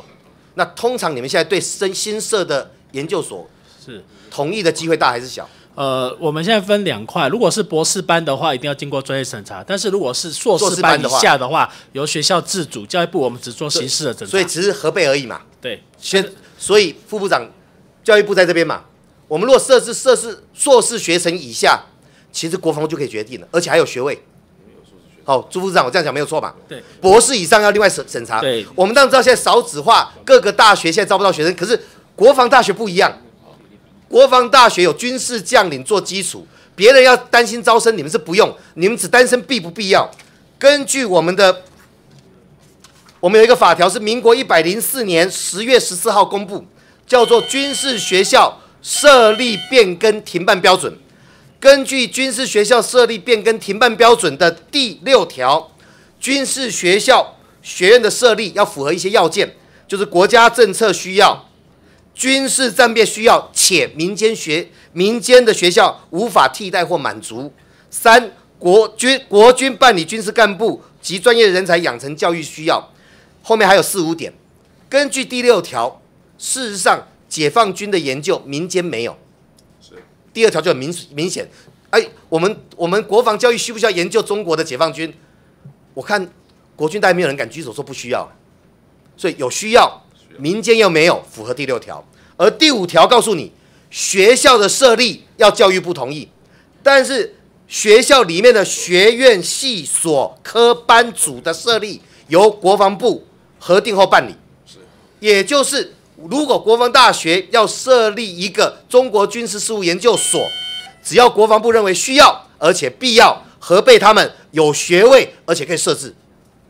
所以我在最后问副部长，当你先代表部长来哈，是是，你觉得我们国防大学该不该设一个专精学术研究、教学、培育人才的，针对中国解放军的研究所？我们把名字叫做中国军事事务研究所。你你个人觉得需不需要？我个人觉得委员的建议非常好，也有这个需要。呃，那有关具体的，我们很乐意我们一起一起努力来办，一起努力来这个必要研究一下，看看怎么怎么来做。当年哈，你们分了一个解放军研究组的时候，中国那边新华社所有的网大肆报道，美国也在报道，认为说哇，这个单位，这个单位可能是台湾哈对中国解放军研究最专精的智库人才培育。但我们为了欺敌，我们不好意思戳破，你懂我意思吗？我我要我们要的是扎扎实实的实力。是，有些哈报废的战机可以放在碉堡骗敌人，军事力量的培育、观念、资料、情报的教育，那个不能欺敌。那委员，我们我们那个欺敌是骗自己。扎实了，但是我们很乐意跟委员进一步探讨，让他更扎实。目前你们师资只有三个，不够了。我不是说那老师不好了，所以我现在是建议我们监督有一个方向。师资不限于学校哦，我们师资当然当然不，那个叫基础。如果所有的学所有学校都不看学校的话，每个学校都都可以当做世界一流名校，不是这样看的。先看编制内的。是是是。所以我们今天有个共识，我们国防大学应该有一个中国军事事务研究所，而它的专精是研究解放军。那为了帮你加油，我们委员会也提案。所以，我们希望把这个事情当做正经事来做。我们台湾要成为一个面对解放军最勇敢、最矜持，而且最了解。是，不管是作为世界的伙伴，或者我们自己的防卫。好，谢谢副部长。是是。好，委员，委员，那个我们会再请教一下委员实实际具体的东西。谢谢委员。谢谢，谢谢，谢谢。我们请吕玉玲吕委员。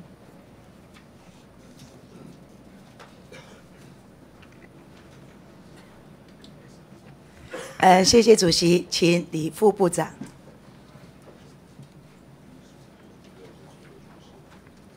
呃，委员长。部长、副部长。对。我们今天是要谈军事教育的条例的一些修改啊。那军事教育我们都一直都在做，那今天要修改这个条例，就是希望能够针对未来的募兵有更好的成效来做修改，是不是？是的。所以每一次我们在立法院都非常的支持我们军事所有国防上的提案跟预算，但是我您说是为了募兵，那现在的募兵我们有看到它的成效吗？我们逐年在进步啊，逐年在进步，对，逐年在自我感觉良好啊。不是不是，我们有数据来支撑我们这种感觉啊。这个数据就是你们调整的数据，不是实际的统计数据了，没有不能乱调整的。现在我就可以看一下你们给我的资料，你说要数据，我就给你看数据。如果说这个军事教育的这个条例我们修改给你过了，你看看你已经在做的，我们军官、士官、士兵十几万人，那么你们一年在军中的在职训练、在职进修的。不到一千人呢。如果这个要去轮，每一个人有这个机会去轮，还要轮个二十年。所以你看成效，你要数据，那你说鲍委员，这个评估你有在评估吗？呃，鲍委员，我能不能跟您报告一下？鲍委员，我们现在我们现在这个公余进修，我先讲公余进修。那在专章是从一百零三年开始，我们才在营区开始试办。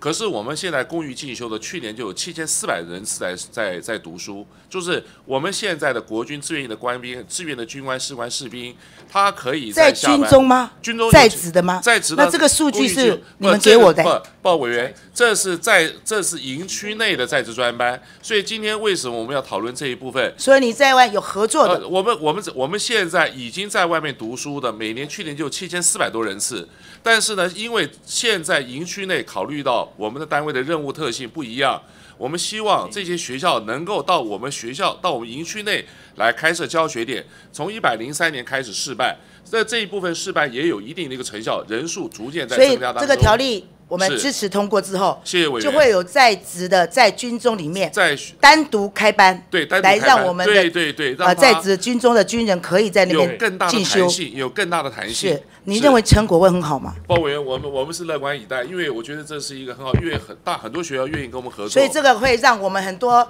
呃这个青年啊、呃能够来投入投入到我们的军中来，是的，是的，他可以来募兵绩效会更好，一呃，绝对绝对是个一定有帮助，一定有帮助。我也是乐观其成的啊、那但是现在我们又看到一个现象，就是我们在募兵的大部分都是军官跟士官，士兵非常的少。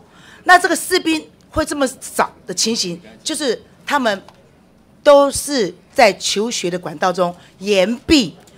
那我们现在又军事教育要来开放在职军中的，那这样子的话，如果说你是教育，他就直接升大学啊，从小学、大学升大学、硕士、博士，继续升读大学就好了。那又何必又来我们军中？所以这个诱因要如何去好好的让我们这些青年了解，来到我们的军中，这是非常重要的。为什么？因为啊，你看看了，如果说他们延毕读完大学几岁，二十二岁，再读个硕博士，毕业了二十五岁、三十岁，再来我们这边当兵、当义务兵的时候，年龄、体能这些都是问题了。所以这个问题，我们希望我们的国防部呃非常重视这个评估这个成效成果，我们要好好的来演绎来做，好不好？那接下来，本席也要跟你讨论一个问题：全民国防，全民国防，很多的军人退伍之后就是后备，那我们希望说，我们能够掌握全民国防，在我们如果要作战有需要的时候，可以马上把他们拢回拢回来，组组成一个部队，能够有应备之用。但是现在这个成效做得如何？是在召集，还是在宣传，还是有实体的训练，才能够让我们实物上可以去掌握这个我们后面的这个支撑的力量呢？实务上我们实际有在做，那我们的这教育召集这些整个后备系系统啊，都有次序的次序的在做。我们甚至于现在希望做法说说把副部长，我要看你们的做法。把这个这个后备的这个系统啊，能够招起来以后，能够甚至投入到救灾啊，这个所以副部长，您说到了，他们现在的功能就是救灾。啊，不止不止不止，包委员不止。那他实际上有做什么呢？我他们那我们所以能够说清楚我举个例子，就是说像我们汉光演习，那报纸上都有登嘛。我们那个后备的部队组成一个这个呃动员实兵，实演战的这样。习很多啊，实际需要才是重要啊！不要一天到晚做报告、做演习，我们要去实务的。所以我说，全民国防这么威严的一个名词放到这边，我要看真正你们能做的事情。呃委员委员的不是是着急。实际上我是有了解，才会问你这个问题。我当过清溪妇联的主委，所以每次的活动我通通都都到场，所以我了解要看到的只是定时的召集、做宣传，那实物上的训练，去配合地方，我看到最实物上的也就只有救灾，所以我希望我们的副部长在我们地方的指挥官在运作这个全民国防的时候，我们再务实一点，好不好？好，谢谢委员。我们当然，我们都有做这些训练的课表啊，什么都有。那如果要副部长，你再说我就要告诉你了。你知道这个后备军人多少吗？一个县市都有二三十万人，参加这后备军军人这个协会的有多少人？一百多人而已，二三十万只有一百多人而已。这个就要你们去改革了。你再你再说下去，我要更多的资料，好，我这就是你们不主要你们去做的。好，谢谢。不是穿一件国全民国防的背心来这边宣传一下就好了，好不好？好，是谢谢委员。再接下来，现在奥巴马即将要卸任了，他针对我们中华民国要军售我们几样武器，在这里的武器有三样，就是我们的地对空的飞弹、水雷跟潜舰这些军事项目，副部长您知道吗？他有开过来了吗？没有没有，没有，这个我要提醒那，只是报上登的而已。报上刊登的。对对，实际上是没有的。他们一行人参访团七个人，马凯也来这边参加我们蔡总统的就职的时候，特别就有提到这个问题呀、公开的呼吁要台湾的国防预算要高达三趴的 GDP，所以才要给我们这三项的军售。这三项的军售，难道你没有看到报章杂志才知道吗？这个你们本身国防部都没有收到这个清单吗？跟委员报告，马凯他是国会议员的系统，他不管这个。那你知道他要军售这三样吗？呃，不不是这个样子的，实际上不是那。你有看到媒体报道这个三样吗？媒体的报道我有看到，但媒体报道的正确好性，副部长，我为什么要提这件事情？就是一直说要军售我们潜舰，这个讲了很久了，我们预算也都编在那边的，结果我们的评估到今年，如果说还没有个结果的话，这个经费就要缴回，对不对？我们不会缴回，我们都有评估，会有呃评估，可是你们都还没有正式去去经过啊。呃，不是，这比较复杂啦，这比较复杂。啊，你这个复又复杂又带过去了，军购好，你用复杂带过去。我再问你一样，我们要军购的东西是不是我们自己国家，我们有需要我们才去买，并不是跟我们有重复我们自己能力能做的东西，我们去买，这就浪费了，每一分钱都要花在刀口上。我们能做的，对不对我们绝对不买。委员指导的很对，副部长的绝对不买讲得。好，那我告诉你一下，美国曾经宣布要征售我们的爱国者三型的这个飞弹，但是我们自己有天宫三号、天宫三型的飞弹，对不对？所以如果他要再售给我们爱国者三号，我们就不需要了嘛。我们自己有天宫三型，对不对？我们有的，我们就不用去买了。这个为什么会这样子讲？就是之前我们自己有研发 IDF 的战机，但是美国马上宣布哦，要卖给我们 F 十六，这是什么情形？为什么有这个情形？它就是要压缩我们的经济、我们的军事武器的一个发展。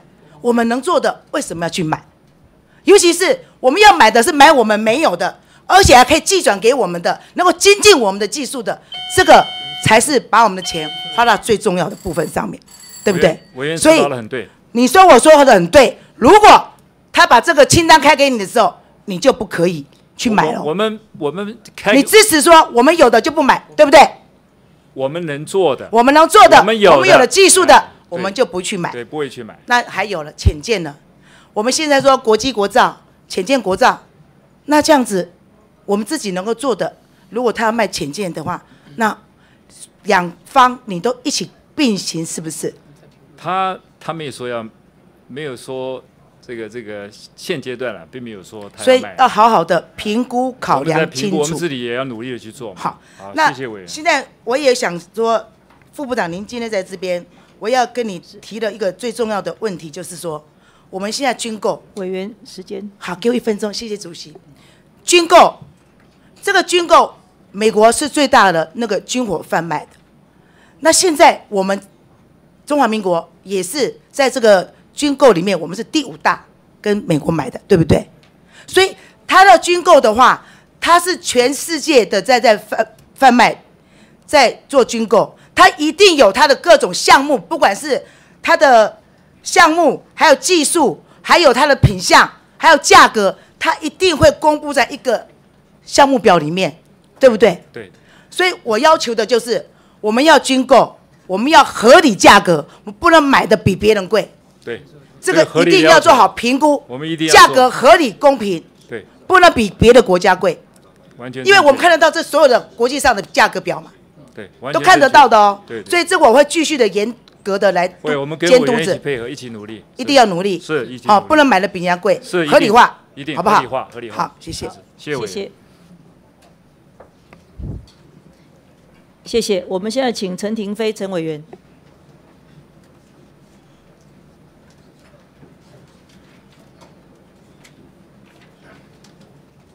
呃，谢谢主席。呃，我们请副部长。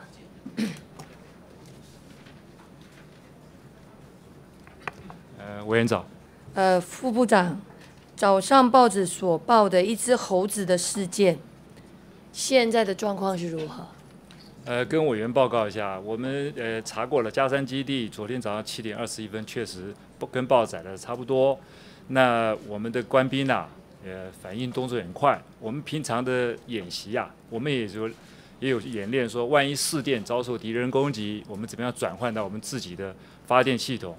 那昨天早上的实际的状况跟我们演练的状况还蛮符合。从我们国防部的观点来看，嘉山基地的空军官兵啊，呃，我们还蛮肯定他们的表现。也就是说，他几乎他的整个运作中心、指挥中心几乎没有受到什么影响。那他们的对装备的保养啊，这个应变啊这方面啊，我们都给予他的这个。所以我们的紧急应变是得以的，因为我们在过去就曾经常常去做了这样子的一个演练。常常练习是也就是说，如果有敌人呃越过了防护网触电了之后，然后影响到我们整个系统这个电力系统的话，我们如何紧急应变？要把它跳到我们自己自用的一个紧急应变措施。是，所以这个部分没有问题，所以昨天没有造成任何的危机。没有，他们做的因为嘉山基地我们很清楚，它是一个战管中心嘛，而且它是跟我们台北空军作战中心整个是连线的，所以如果这个连线出现问题了，等于我们整个防备系统也会出问题，我们没有办法第一时间接到所谓的敌军的讯息，或是有任何的状况，所以这是非常重要的，所以没有问题。没有问题，谢谢委员关心，没有问题。然后我再请教，基本上，呃，我们每一次到六七月开始，可能很多的服务处也好，国防部大概也会接到很多的澄清案件，也就是说，希望可以赶快入伍。只要毕业潮之后，常常就会有这样子的讯息传出。我要就教一下这个问题，所谓易难入伍大塞车的问题会解决吗？我们一直在努力解决，因为如果塞车会造成民怨，我们国防部不愿意看到有这些民众不满意我们这些塞车，所以我们现在征招的不但是足额，甚至会有比我们每一个单位的编制还会多一点，所以目前为止，目前的状况还好。你知道现在大家有一个感觉，就是等待入伍的时间是比疫情还长。现在我们的军事训训练营大概是四个月，可是我一毕业之后，我必须等待我军事训练役如果完成之后，我才有可能做下一步的动作，包括找工作或是我要再出国等等一个规划。可是问题是我到底什么时候可以进去不知道，所以大家就是挤破头。可是我们的整个名额是有限的，那这怎么办呢、呃，跟委员报告，我们现在碰到这种入伍可能会塞车的情况之下，我们不但把我们所有的这个新训旅啊，做一个全额的一个招收，那我们甚至于说，比我们最大的容量，然后部队可以容许的容量，我们再尽可能提升，来扩大这个整个训练的这个能量，我们来缓解这些入伍这些希望提早提早服役的这些增增加多少能量？如果说今天每一个县市都有配合嘛，他都有配额啊，只是这个配额每一次都要拜托我们国防部多配给他们一点，否则各县市政府兵役科几乎都要被挤破头，然后每个人都要拜托人家去讲，真的需要如此吗？呃，我们现在啊，以举个例子来讲，说一个营呐，原来我们标准应该是可以接训六百个人，那我们现在都调到六百五，但我们不能可不可能说，我不管你，通通来，通通来，然后那训练品质很差，也没办法，所以我们已经尽量从六百人调到一个营为单位啊，六百人调到六百，我们尽量会去去。所以在六七月开始，我们几乎每一个月。能够配额的部分，我们都尽量能够增加。对，尽量能够增加。然后增加我们预计，我们预计如果说这个毕业潮的这个需求，我们最慢多久一定会完成这个军事训练役？军事训练役就是他有需求，就是说在这一波的毕业潮，毕业潮他一定会提出需求嘛？这一波的需求，我们预计我们可以给他一个。一个一个一个时间嘛，这个时间点起码让他知道说他下一步该怎么做嘛。到底我们这样子稍微你们自己的一个比例，然后再加上你们所多出来的这些名额，加一加减一减，到底最最慢会在什么时候完成这样的一个训练？我们我们希望我们下半年呢，通常。就是我们上半年呐，想要训人不够，下半年就显得这个比较拥挤。那我们一直在做这样调节，调节这样的。因为一到六月，大家还在就学啊。我们比较哎。一定是六七月毕业完之后，大概五月份毕业，有拿到毕业证书，大大概就慢慢已经跟你们提出这样的申请跟诉求了。所以六七月、七八月一定是高峰。可是，在这个高峰，一定没有办法完全吸收嘛。就像你讲的，还是要保障我们所有的训练品质嘛。所以一定没有办法。那可是你要给大家一个知道他下一步的规划该怎么做嘛。那到底最慢？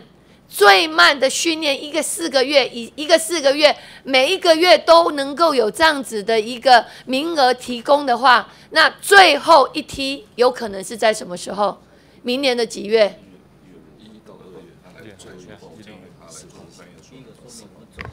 呃，报告委员，如我刚才跟您的报告哦，我们我们年度计划征集的数，我们今年到十二月以前一定可以训完，没有问题。但是因为刚刚委员讲的七八月以后有很多毕业潮，很多学生毕业了，他急着想露营，所以现在我们竭尽所能的扩训，我们大概扩了一万两千人的训量，所以说这些人我们会最晚最晚在明年的一月二月会通通把它增进营里面训，这没有问题的。所以最慢明年一月二月，即使在第一梯没有被进入。能够这样子的一个训练机会，他在最慢一月、二月也一定会完成。非计划类的人最慢在明年一、二月会训会增进来，就是等于说他在五六月提出毕业之后提出的这些非在你们计划之内的，你们多出来的部分，最慢在明年一、二月也一定会训完。是的，这样的意思吧？是，那这个数字是由议政署提供的。那至于怎么争这个顺序，这是议政署的呃事情。我们希望国防部要尽量配合啦，否则去年我相信你也很清楚，几乎地方的报纸每一次都在讲不够，员额不够，训练的不够，然后提供的名额不够，每一份报纸都这样在讲。其实对我们国防部其实也是伤啊，其实就不是如此嘛。是因为大家希望在毕业之后赶快这个四个月的一个训练，军事训练役可以赶快完成嘛？他可以从事他下一步嘛？所以这是在非计划，那非计划我们就要去协助，这才是重要的。好，这个部分在明年一二月最慢一二月一定要把它训完。然后第二个部分就是说，大家也一直在问一个问题，因为当时候国防部部长一直说，到底八十二年要不要入伍去当一年的兵，这个部分我们七月份都公布，我们七月份，我们现在七月我们在。七月要有评估嘛我们七月我们七月份会公布。对七月会公布嘛因为这几个梯次是我们目前志愿士兵的，四五六梯是我们的大宗，我们要看我们实际来报名的获得的一个状况。跟委员报麦克风麦克风我们在七月份会做一个完整的报告，我们要做仔细的评估。因为现在已经六月中了，是，报委员，我们七月是七月初还是七月底？呃七月中旬之前，七月中旬之前会把所有的评估报告我们会要做一个公布。。是的，哦，这个因为现在一男，只要到了毕业潮，到了就业潮，这个问题一定就会被追着打。到底八十二年，他们到底该何去何从？在下一步他们该怎么做？这个是关系到他们的生涯规划。所以我希望说，在七月中这个时间点不能拖。好，这个部分麻烦一下，这个都攸关于我们所有役男的他的一个规划的部分，所以请不论是在整个四个月的军事训练役也好，还是在八十二年在七月中的一个评估报告也好，希望都能够符合大家的期待跟需求。谢谢。鲍委员，我们下去会赶快把这个做好，又跟您沟通一下，看看什么时间来做这个比较恰当，好不好？好，谢谢委员。好谢谢，谢谢。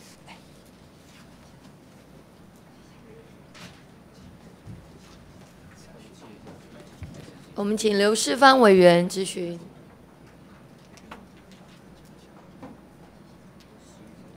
呃，谢谢。呃，劳烦请呃副部长好吗？呃，副部长是。还有我们请呃国防大学的教务长呃呃教育长嘿，啊教育部高教师嘿，谢谢副部长。呃，我们今天要呃这个修改呃这个军事教育条例啊，我想我们部里头的同仁相当的用心哈，我了解他们有到每一个委员的办公室去做一下说明哈。所以在条文的这个修正方面呢，其实没有太大的困难，因为它是朝着我们认为需要走的方向。所以我今天实实实际上呢，要跟副部长来探讨的，就是说上一次啊，在军事教育条例呃颁令修呃施行之后，是在一九九九年哦，到目前为止是二零一六年，也就是经过十七年的时间。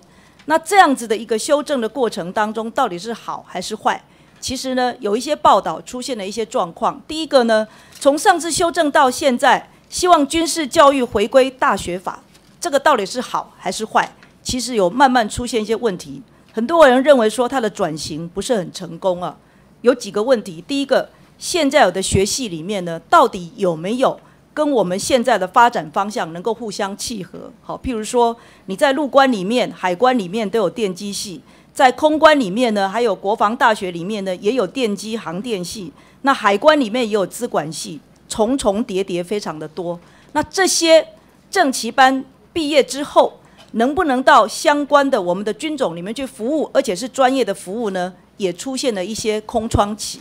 这个部分呢，我不晓得我们的副部长您怎么看待啊？因为您自己是海关，而且你是六六六年班毕业的吧？是谢谢请。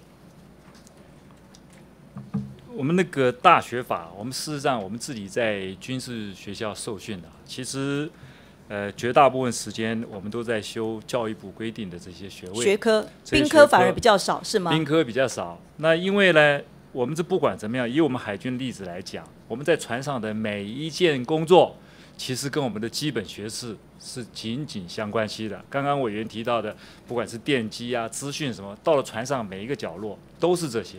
所以他把这个基础的功课啊做扎实了，然后上了船，或者说在后面第四、第三、第三年级、第四年级开始修修习船上实物的装备来讲，那是有帮助的。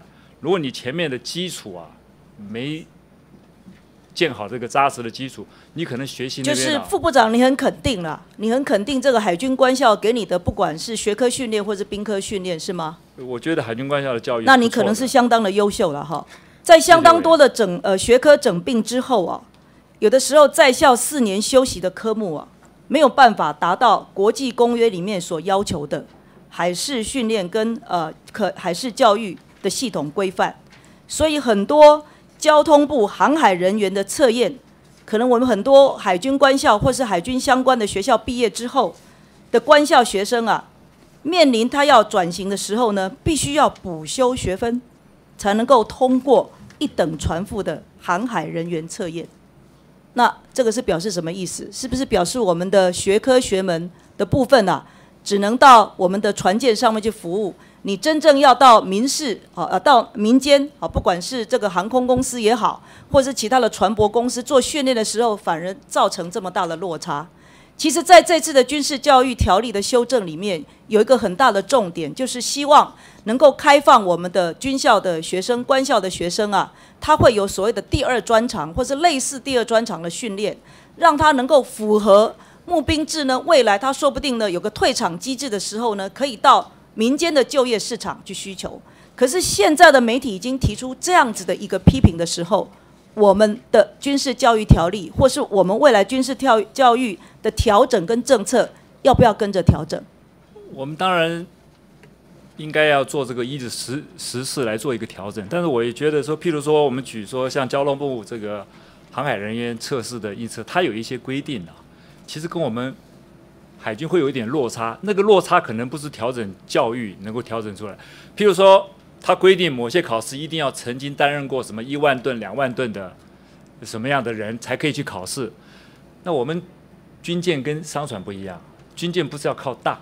军舰要靠武力强，那海航人员测试，他总是用一般的这个商船的概念来看这个东西，所以我觉得，如果说我们希望说推动募兵制，能够让我们的出路更好，其实我们应该可以跟这个海航人员这个来做个协调。副部长，我想基本上这个规定，但是如果是我们海军曾经在船上工作有多少多少年的经验。应该是可以做一些调整，副部长，我想这样就可以结合了。是，我想您讲的这个方向我可以接受。可是刚刚呢，相当多的人在质询说，现在我们到呃呃这个所谓的第二专长训练的时候，除了我们找的这个对象的这个大学，还有所找的这个项目，你有没有看一下？几乎都是企业管理，也就是说，所有人所有到军校去念书人出来，都是要到公司里面去当董事长跟总经理吗？是不是？是不是这个地方的落差就大了，对不对？这个有落差。所以未来在军事教育条例里面，尤其你们是在呃第一个的修正第一条的修正案几条修正案的时候，我建议一下在执行面上，从你刚刚的例子里面，你自己已经可以了解这个状况，好吗？好。是。第二个我要问一下生师比的部分，好，我来问一下呃我们的教育部的高教司，现在公私立大学的生师比的平均比例是多少？哦，我们生师比，对我们目前根据我们的规定的话，一般大学日间的全校生师比要二十七，好，那我们今年已经修法降到二十五。呃，稍微再低一点了哈，现在的平均是二十二点五八。对，好，那我现在就是要再问一下副部长哈，还有我们的呃负责的，不管是哪一个部分哈，在空关里面呢只有十二点七三，在海关里面呢只有十四点三。在陆关里面的机械系甚至只有四点六，显然这个资源的配置不当。好，这是等一下我还没问完。然后呢，再来你看一下，刚刚也许有委员有提到这个状况了。以国防大学跟军校的政治系为例啊，这些讲师以上或是副教授或是教授的学经历，你们要看一下？这些人如果到一般的公私立大学的话，他可以担任这个职务吗？到副教授、系主任以上，我我念一下哈。副教授跟兼系主任呢，他是文化大学政治学博士，哈。那另外有有些副教授兼系主任，他是政战学校政治所硕士，他就可以兼副教授跟系主任。我们在这个委员会里面有两三位啊，都是担任过大学教授的人，我看他们大概没有办法接受是这样子的学经历。第一个生师比偏低，第二个里面的这个呃大学的讲师，包括国防大学还有其他的军校里面呢，是专业考量为主还是近亲繁殖？现在他们有没有其他的退场机制？能不能做得到？还是呢？因为靠关系的，所以一进去里面的话，大家也都没有办法可以监督得到，啊，我们也都不认得，所以就只好算了。那这样子造成什么恶性循环？我们进去军校读书的这些年轻的朋友，当然会觉得说他们得不到应该有的专业知识，也得不到应该有的退场机制里面的专科学能。谁要回答？我我来说好了，呃，鲍鲍委员，这个非常非常感谢跟委员刚给我们做指导。鲍委员，第一个，现在我们三军官校，刚才委员所提供的几个数字啊，跟我们现在目前数字概的概率是差不多的。大概我们目前三军官校的师生比平均大概是一比十二左右。那这个是合于教育部目前现行的规范，这是第一点。那第二点，一半而已嘛。对，就是当然我们这个。到老师，老师如果师生比比较低一点，对学生受到照顾和关照的，我想那个程度会更高一点。好，这是第一点。第二点也跟委员报告，目前我们依据大学法的规范，目前我们所有的基础院校都要接受这个教育部每年的一个教育的评鉴。那基本上我们各学校每年教育评鉴，通通是通过合格的。通过合格，但是你们是在落到第几级呢？不，包员，我们的中等而已嘛，是吗？那个高教师，高教师的副师长来。你们每一年都有去做一下评鉴，那结果他们现在评鉴的机制是呃评鉴的结果是怎么样？公委报告，我们我们是分分为通过、待观察跟未通过。那国防大学基本上都是在通过，都是通过。国防大学现不只有国防大学，还有其他的。我们各基础八个八个学校嘛，全部是通过的。只有算通过，但算不算优呢？呃，不太算哈。我们就分这三个等级。不不太算优嘛？你知道为什么吗？就是我刚刚所提的问题。如果我们的军事教育条例一直要 push，哦，用这个教学型的大学的话，其实不是我们的发展方向。好，但是呢，我们又送了很多优秀的学生到美国的西点军校或是维吉尼亚军校，结果回来呢，还有人是以精神疾病为理由要退出来，这个是怎么一回事？是不是表示我们在台湾的这个官校的教育里面出了问题？我们要怎么样做比较好的修正？其实很重要。坦白讲，今天的条文非常的简单。但是里面的政策如果没有跟着改变，包括说现在我们的蔡总统希望这个国防自主产业未来要培养更多的这些啊，包括在中山科学院任职或是其他的什么船舶研究中心等等这些，如果没有我们自己官校出来的学生的话，其实我觉得教育呢只能算成功一半，也就是刚刚所说的各高教师给你们做了评鉴，就是叫 pass，就只有这样而已。那这样子呢，我们怎么能够期待？我们所培养出来的军校的学生呢，要能够忠于我们的国家，而且愿意在战场上面呢牺牲奉献。好，这个部分呢，可能副部长应该您心知肚明啊。因为从六十六年毕业到现在，你再回去你的官校看一下，可能呢虽然一草一木都没有改变，里面的教学品质也没有改变。这个不是我们希望能够看到的，好吗？好，继续加油。好，谢谢。谢谢，谢谢委员，谢谢委员。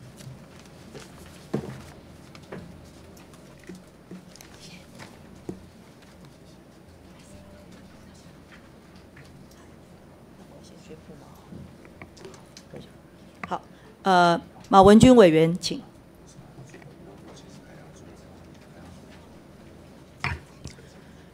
嗯，谢谢主席，麻烦请副部长。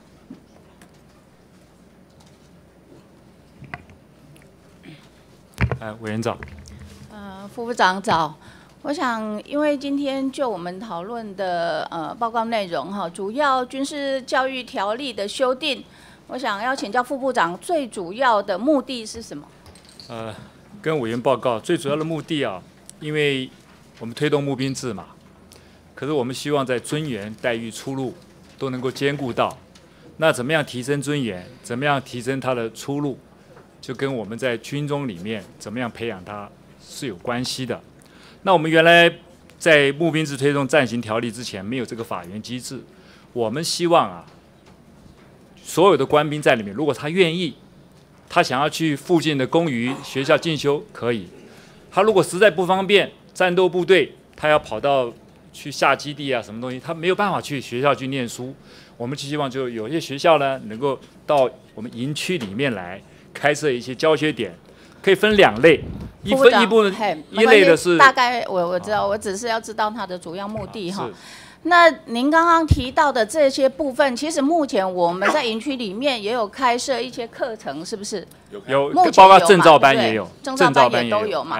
啊，所以我们在修订以后，其实如果只修订这一条，你们认为？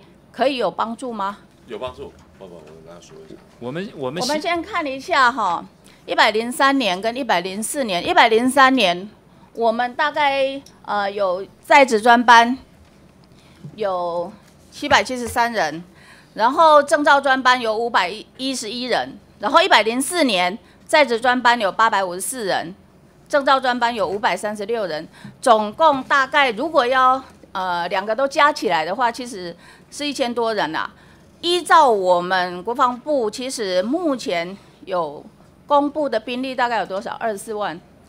假设你用二十万来算好了，我们当然非常恭喜这呃，尤其是有取得这个在职专班的这些人员哈，去年有八百多位，我们为这八百多个非常高感到高兴。可是相对的，假设我们用二十万的兵力计算，还有十九万九千多人，其实他们是要哭泣的，因为其实他们没有这样的机会。你现在其实都已经有设立这样，其实我们没有去考虑到我们的困难点在在哪里。所以其实像这样子的课程，你即使设到我们的营区里面，即使你增订了这个办法以后，其实它只对一些国防部的直属单位、机关单位或者各种司令部指指挥部的人员，可能有办法去上课。相对的，你像副部长是海军出身，是。你如果在舰艇上面，如果是开飞机的，如果是在野战部队的，像在外岛的，其实他们可以获得这样子的呃，可以享受这样的福利吗？其实这是目前最大的问题，所以我们现在要提出来，你即使改变这一点，我们再回头来看看好了，我们的呃军事教育条例开宗明义，我们第一条、第二条、第三条到第四条，你全部都是要健全军事教育，培养军事人才。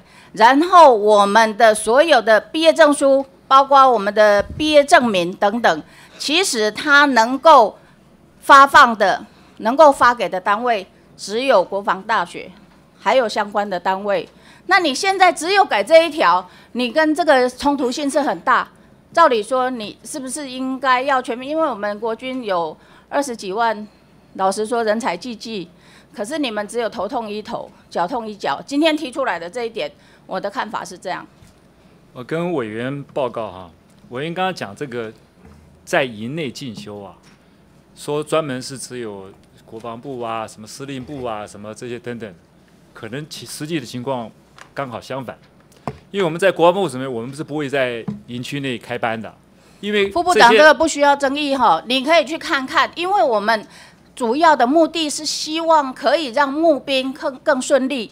可是你去统计看看，去上这些在职专班，还有其他证照课程的这些我们野战部队有没有人可以去上？因为其实他们平常训练的时间，然后有些很忙碌的一些单位，其实他们有时候加班到八九点，有些过去甚至有去报名，比如去上英文课，上第一堂课领了课本以后，后来都没有再去，因为也没有时间去。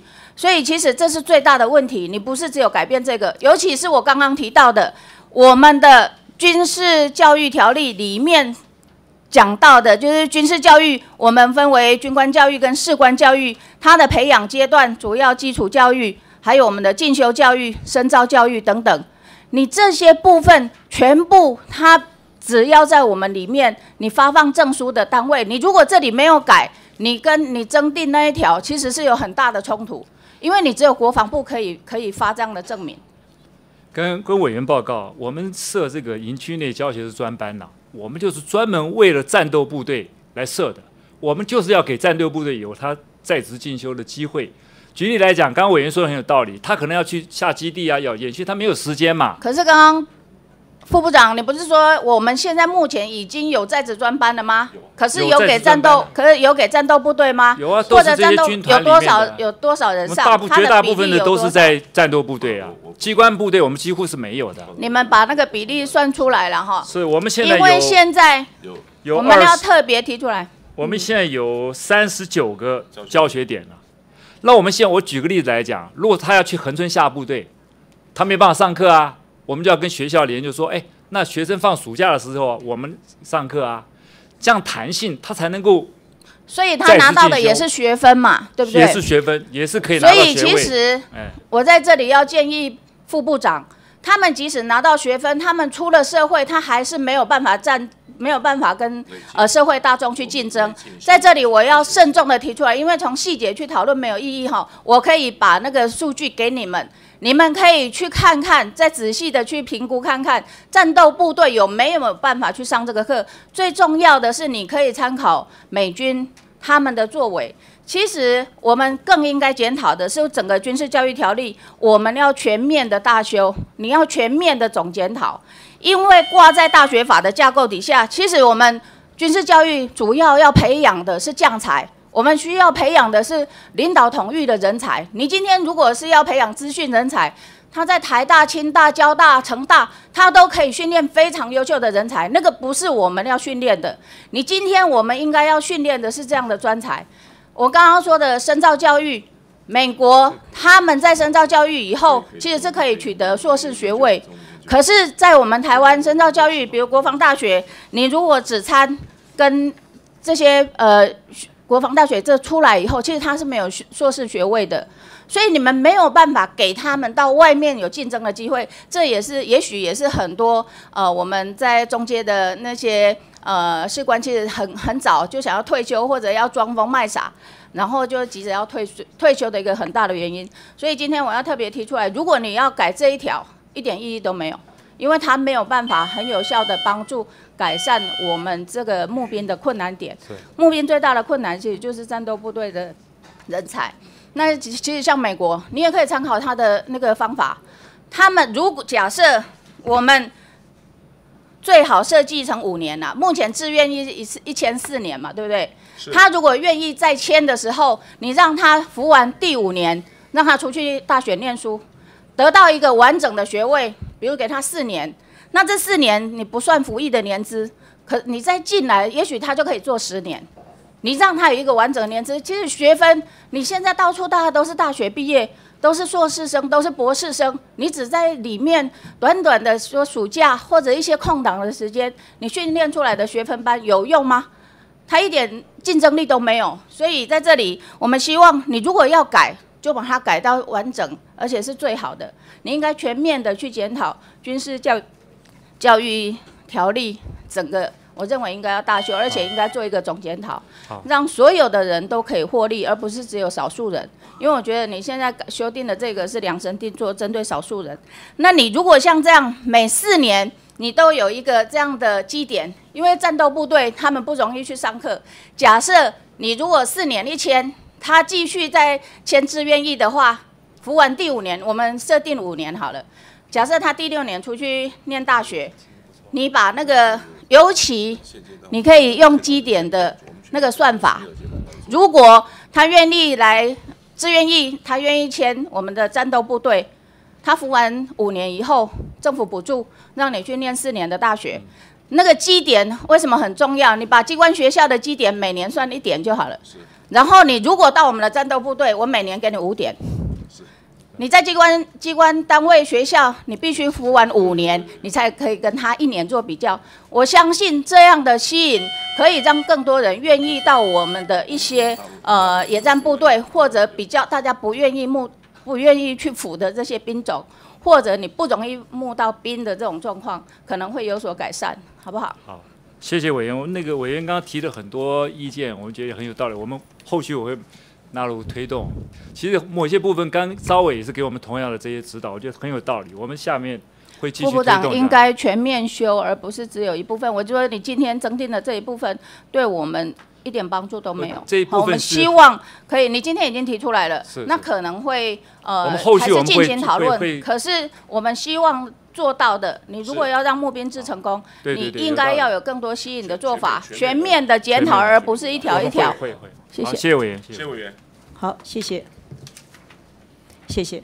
呃，接下来我们请吕孙林委员哈。那吕孙林委员质询结束以后哈，大概在十一点零五分左右哈，我们进行这个条例的呃这个呃讨论事项。好，请吕委员。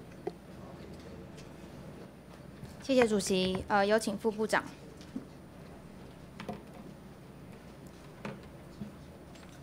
呃，委员好。副部长你好，呃，我想募兵制的问题一直以来都是我们委员会在讨论的问题。那今天为了要推动顺利推动募兵政策呢，那也我们国防部也提出了军事教育条例的一个修正案，所以我有一些问题就是呃募兵制的一些问题，还是想要请教副部长。在现行的法律当中，有关于提供官兵进修法源就有三个。推动募兵制暂行条例第七条，还有军事教育条例第二十一条，还有现在呃，我们国防部又提出了军教条例第二十一条之二的一个修正案。我想请副部长说明一下，这三条有什么样的不同？那个暂行条例啊，它只是一个法源，而且它是有一个落日条款，它到一百零九年它就就要结束了。对，所以我们必必须要借着这个暂行条例啊，我们要落实在各个相关的法来协助我们推动募兵制，这是我们的修法的基本的精神。好，那你刚刚提到说暂行条例呢，在是一百零九年就会有个落落日的一个状况出现。那呃，还有就是说，为什么我们现在要提出急于提出这样的法案，有什么样的原因吗？就是因为它有落，它万一落日化，我们再推动这些东西，我们都没有法源依据了。没有法源依据对据，那所以你是为了要对，我就把这个都修好了以后，延续即使它落日了，我最起码可以法制化，我就可以，呃，做我应该做的事情。好是这样，跟委员报告。再来，我想要请副部长看两份民调的东西。第一份呢是在二零一零年募兵制准备要实行的时候，由一零四人力一零四人力银行所做的一个意愿调查。那其中上班族意愿投入职职业军人的部分呢，有五个原因。第一个是稳定的薪水，第二个是诸多的福利，第三个是休退休俸制度，还有健全的升迁，还有呃一份可保家卫国的神圣工作。所以在当时二零一零年的时候呢，社会上的氛围，从军的意愿重要原因都是在薪水和福利制度上面。那第二份呢，是去年二零一五二零一五年由一家线上的民调公司所做的一个意愿调查。那其中意愿加入我们军职的主要原因有前三名的东西，也就是第一个薪资与福利加，第二个有退休退伍金、退伍金或终身俸。第三个不因景气而有有遭裁员的一个顾虑，所以从二零一零年到二零一五年，我们可以从民调上面可以看得出来，大家从军的意愿都是经济的因素所影响。所以我想请教部长的就是说，我们国防部对于民众从军意愿有没有做过调查？那调查的结果是怎么样子呢？有做过调查我们我们有做过有做过这方面的这个调查。啊，委员好，我向您说明一下，事实上每一年我们对于这个志愿役这个官士兵啊，我们都是做这个意呃这个调查意见调查。那么对于他在工作、薪资待遇，或者是相关刚才委员所讲的相关福利的这个设施上，还有领导统御、内部管理上，他们有什么意见？那么事实上提出来这些呃得到的这些数据啊，基本上他满意度比较高的，基本上呃还是刚才委员所说的那几项。但是我想，任何一个团团体哈，包含军人这个团体，那么基本上，因为军人他是一个很特殊的团体，他必须要保家卫国嘛，所以他的这个自由度是受限制的。对啊，他的工作是没有所谓所谓定时的这样一个一个一个一个一个区分，所以他临时的状况很多。所以我们希望说，在呃福利待遇跟薪资还有其他的这个制度配套上，希望能够对这一群志愿役的官士兵能够有一个合理的照顾，这是我们国防部的一个基本政策。好，我希望你提供这份调查结果给我。呃，可以。好，再就是我在国防部的国军人才招募中心的网站上面呢，有看到一份有关于从军从军意愿的调查的问卷。那我所我想请问 副部长，我们这份问卷呢，目前有多少个人填写？有多少人填写过这样子的一个问卷？三千多人。是，呃，委员，这边有一个数据跟我们报告啊。好，一百零三年是有效问卷是九百四十九，一百零四年是两千一百四，一百零五年到目前是五百零九，嗯总共已经有三千五百九十八有效问卷。有效问卷，所以是从一百零三年到一百零五年是的，是的？是的，是是。所以这中间的数据，我想请你们也提我们会供给我。详细提供给委员。好，谢谢委员。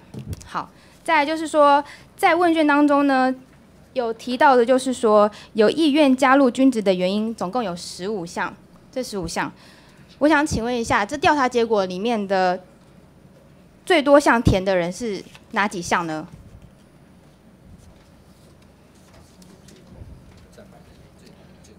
最高的吧是六十九点四，就是薪资福利、薪资待遇还是排在第一位。跟委员差不多，跟委员第一个是薪资与福利，第二是有退伍金、终身俸，第三个不因景气而裁。我们的意愿调查的结果跟刚才委员提供的大概是差不多。所以这几年来看起来，大家愿意从军的一个目的还是因为福利好嘛？呃，不是最大的诱因了，最大诱因会议的最大诱因。好，再来。问卷当中呢，其实有提到说不想加入军职的原因共有十九项。那我想请问一下，最调查的那个比例最高的是哪一项呢？第一项，他从目前不想加入的第一个是已有选择其他工作规划，已有选择其他规规划是第一项，第二个是没有私人空间还隐私是第二项，第三是无法适应军中生活等等。第一项是他有别的工作了，他可能觉得别的工作更适合更他，适合更更适合他去发展对对，这这一部分是我们比率最高，大概占了百分之四十五点九。好，再来。问卷当中其实还有一题呢，是说，呃，何种情况的改善会提高你从军的意愿？那这个调查结果是怎么样子呢？嗯，这个是，呃，第一个推动推动每日上下班制度，但是我们已经在做了。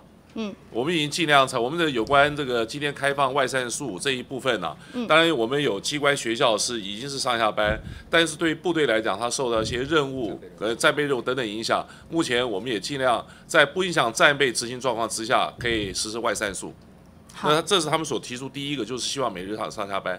每日上下班。是的。好，我想刚刚这个问卷里面的一些题目呢，还有答案都是会影响到我们呃民众从军的一个意愿。那有了这些，我希望就是说你们要依据这些呃数据来做一个我们推动募兵政策的一个方向的一个改进修进。那这样子呢，才能让我们招募国军才能达到最大的目的。是。好，再来就是呃，想要请教部长、副部长的东西，就是说，一百零五年在各营区教学点所开设的学务学程专班，总共有二十八个，那由十二个学校在营区内开班。那其中呢，我发现说，我们开开设的科目有休闲管理、健康管理，还有应用外语外外语。所以我想知道说，这些开设的科目所授课的内容都是什么？可不可以请副部长这边做说明一下？细节部分我们可能这个要有各各学校目前二十八个专班啊，对已经有最多已经有到有到十六个学校。至于里面的那个他上课里面的每一个科目啊，我们整理一下资料提供给委员好吗？好，再来，呃，请教副部长，就是说，我们国防部呢，在营区里面开设的证照培训专班，那我在里面有看到一项，就是芳香精油证照。我想请问一下，这个上课的内容是什么？那这样的专长呢，怎么样衔接我们在军中的生涯的一个证照？这个军中没我我上退伍下去，这是给他学第二专长，这是让他他下去以后，他也能够有专业，所以这跟军中是没关系。是让他退伍之后可以对去他让他有个第二呃、专长这是出路的问题，这不是专业的问题。所以这是设想到他们对，之设想到说他总有一天要退伍啊。我们希望在国军，他是一个很专业的军人，退下去他也是一个有专才的，可以从事某一种行业。这是我们的整个的多元化的一个一个想法。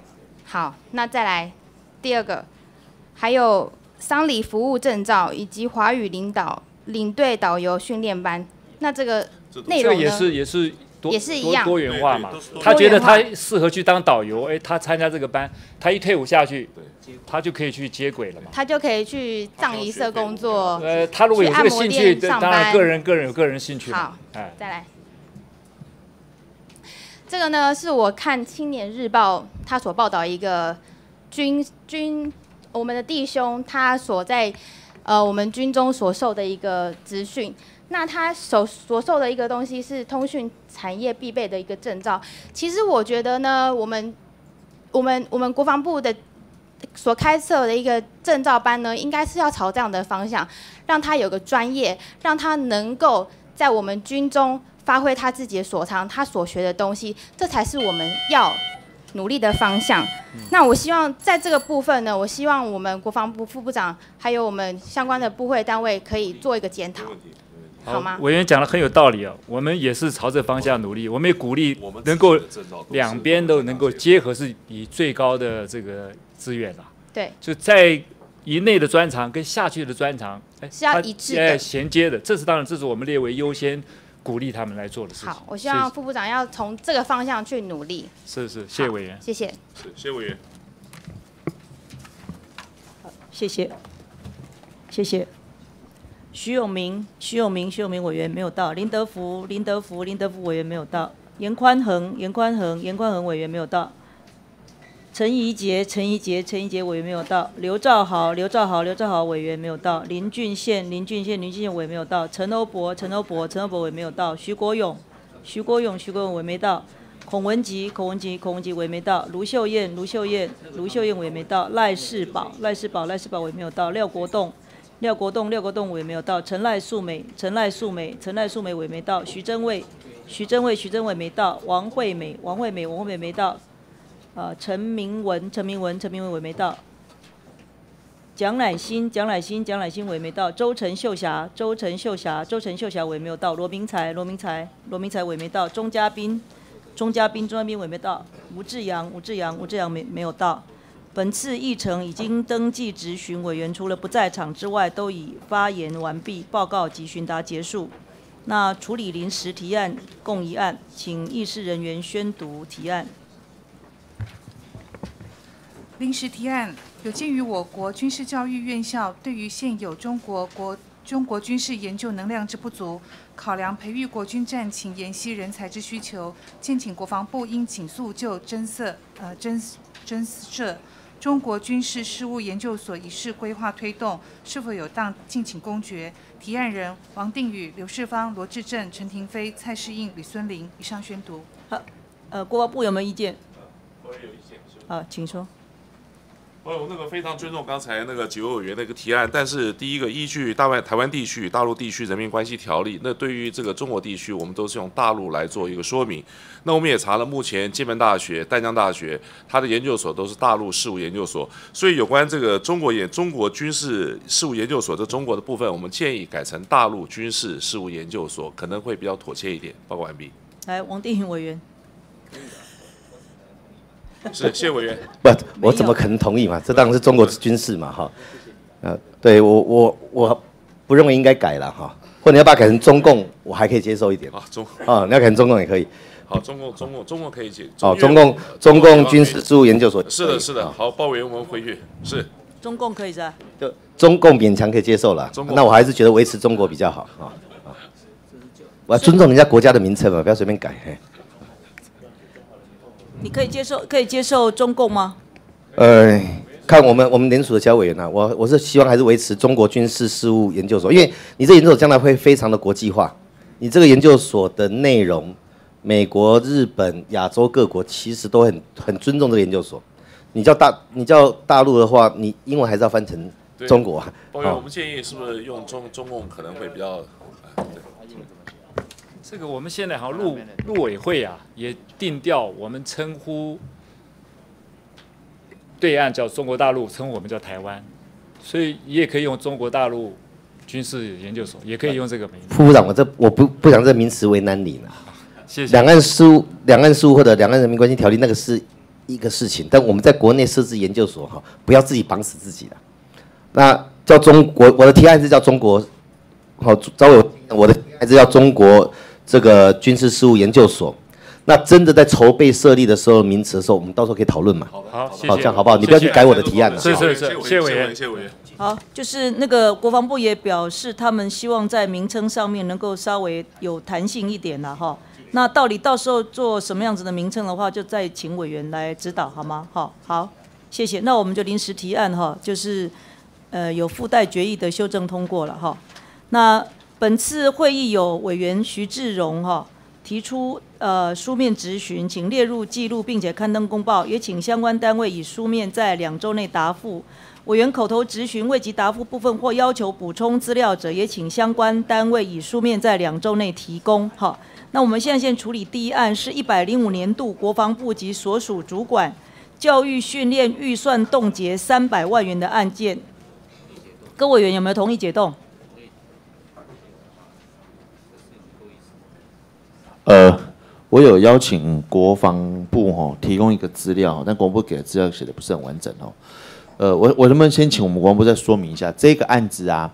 是委就是两亿多元都是在国防大学里面做委托研究费嘛？哦，没错嘛？是不是？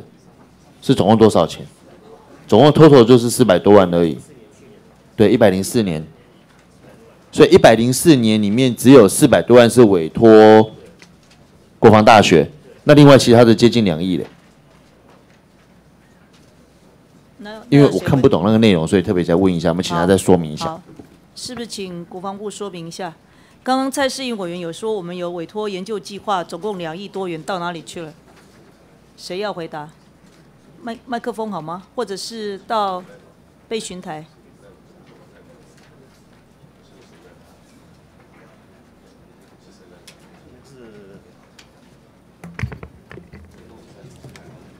这个跟回答一下蔡蔡委员刚所提的，我们国防大学所受的委托案呢，就是国防部各单位他认为在学术或是研究上面有需要，他经由我们学校委托我们来做招标，还有这个资料审查。那一百零四年我们学校所受到的这个所接受这个委托的案子，一共有八个案子，总金额大概四百多万。这边向委员做过先先做过报告。那我不晓得那个两亿是。是是指哪？你们在那个给来的两立法院关系文书里面写的啊？有因为之前的我没看到哈。你的说明二的一二三，第三行原针对第三目教育训练业务，国防大学所列两亿两千一百五十六万中冻结三百万，待立立法院向外交国际国防委员会提出改进措施书面报告，经同意时的动词。我的意思是说。那个总共两亿两亿两千一百是什么东西的钱？因为我们前一届第八届我没有审到，所以我在问你们这个问题。没没没有包伟，那个您您您提的那个是我们国防大学提供的那个报告哈，书面报告你提的两亿，那两亿那个应该是整个国防大学它的预算的部分，那属于委托研究的部分，就是就。哎，是这样子。那两亿是我们的教务、教育行政费，还有一些整个科目、整个科目的经费。那只只以委托案只有只有四百多万，是不是？那所以是不同科目的预算才对啊？还是同一个科目？它不同。报告委员，那个是应该是在国防大学本身经费里面哈。那刚刚讲的那个委托研究，它是用途别的科目。对啊，所以应该是分开一下支项的嘛。那麻烦你把原来的那一份也给我，因为我们没有第八届你们的预算书，不好意思，你把那份再给我一份。好，谢谢。好，那各位对于这个三百万元的预算冻结案，可以解冻吗？来，罗志政委一个技术问题，这个案子已经都招标出去了吗？招标出去。OK，那意思就是非解冻不可了。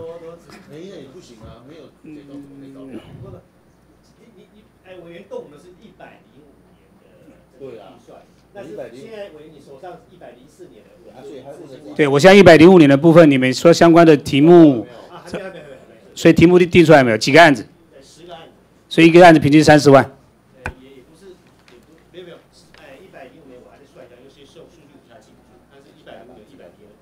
对，资料，因为你给我一百零四年没有特别意义啊，哈，我现在一百零五年部分到底有几个案子？然后你们本来预估的那个审查、绝标，乃至于未来呃提成，现在已经六月了嘛？是是。那坦白讲，三十一个案子三十万，要是我是学者的话。也做不了，这是做义务工了啦。是是。啊，那就是说，到底我们这些案子有没有影响到实际上这十个案子的推动？是是。那如果没有的话，是不是要怎么调整哈？原则上没有问题啦，但只是说，也提供个资料让我们知道一下，到底这十个案子是什么？配合我提供资料给给给委员。对。你是说一百零五年的还没有啊？还还没有啊？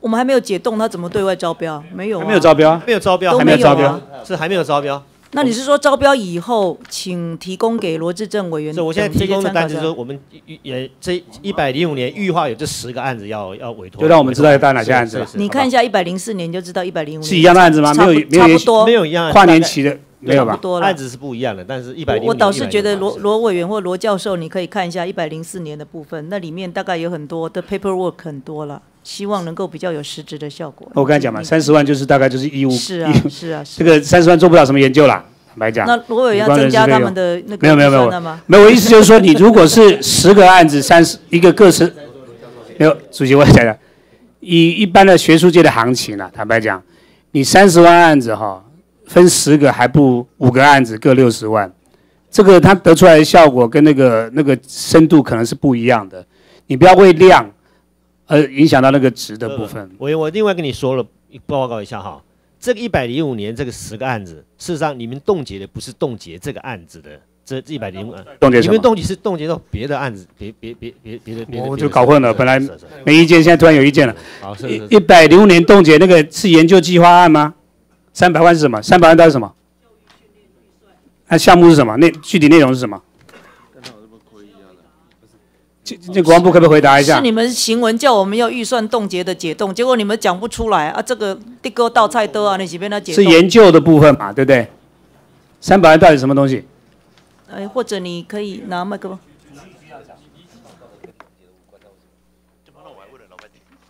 包伟那个那个，因为这个整个报告哈是国防大学提的，那当初是针对整个里面的国防大学有没有人来？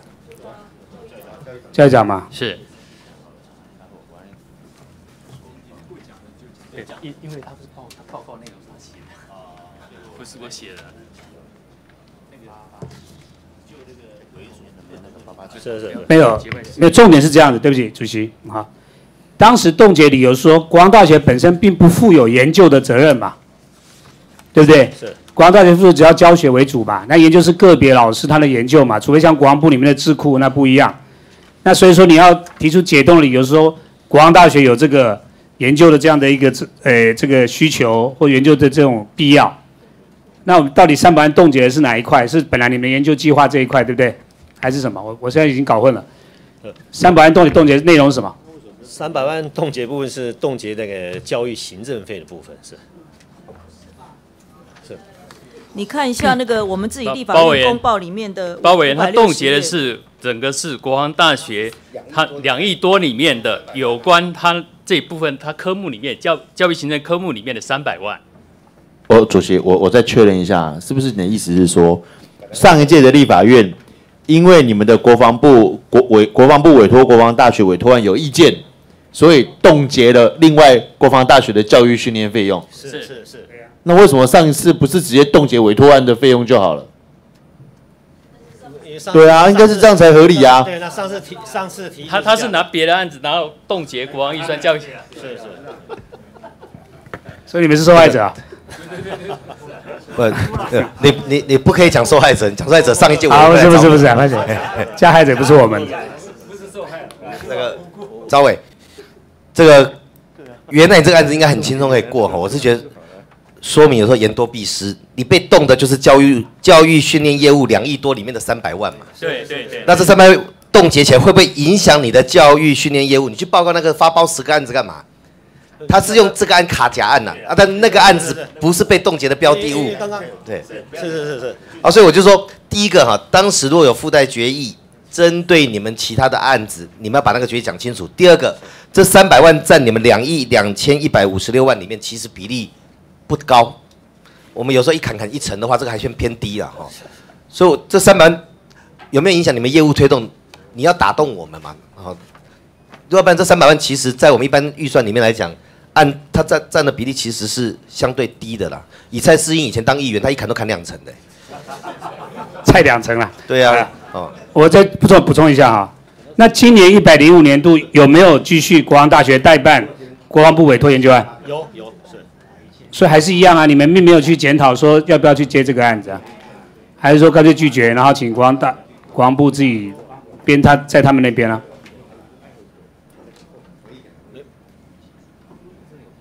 有有有有。我知道国民党好，好吧。我们包包委员，我们如果没有必要性啊，我们不会在乎这些东西。提出来就认为我们很在乎，有这个必要性，没有说没有必要性，然后我们来提出来，那不是开大院的玩笑吗？所以当然是有这个必要性。所以这个因为可能他们的幕僚的准备那个细节啊，表达可能不是那么清楚。我们下期跟您跟您再跟您解释一下。我想说，您这学术研究您是您是专家嘛？没有没有，我们先让这个我们只要厘清到底我们是动了哪一块，然后哪一部分是应该你们要解冻的理由。我怕那个现在如果说没有考虑的资讯给你，反而弄乱了，我们也不好意思。我们下去以后，我们国防大学会把一个详细的资料给你那看一下。个几位几位委员都非常认真的哈，那我也请国防部的相关人员哈，可以再针对这个教育预预算呃教育训练预算冻结这个案啊，在个别跟委员做一下详细的说明了哈包括很多我们的委托案也好啊，或者是因为两亿多的这个部分啊，因为。毕竟这一届委员跟上届委员并不同样的人呐、所以可能会有一些资讯上的落差。好，请那个国防部的相关人对资讯上的落差，尽量给我们本届的委员补足，好吗？一句话就好。其实你们结论已经写得很清楚了啦。依法约法，你们当然可以接受国防部的委托嘛。是。但是这是一百零五年度已经编了，你们甚至可以在里面讲说，以后我们不再接受国防部委托，我也没意见。是国防部要找别人去研究，我都没意见，是可以的。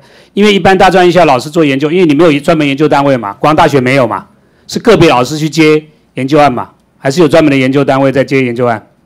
就是招标之后会有外面的这个学术研究单位来来来来来来。所以委托你们再招标出去哦是是是，那干嘛国防部还要做这种动作？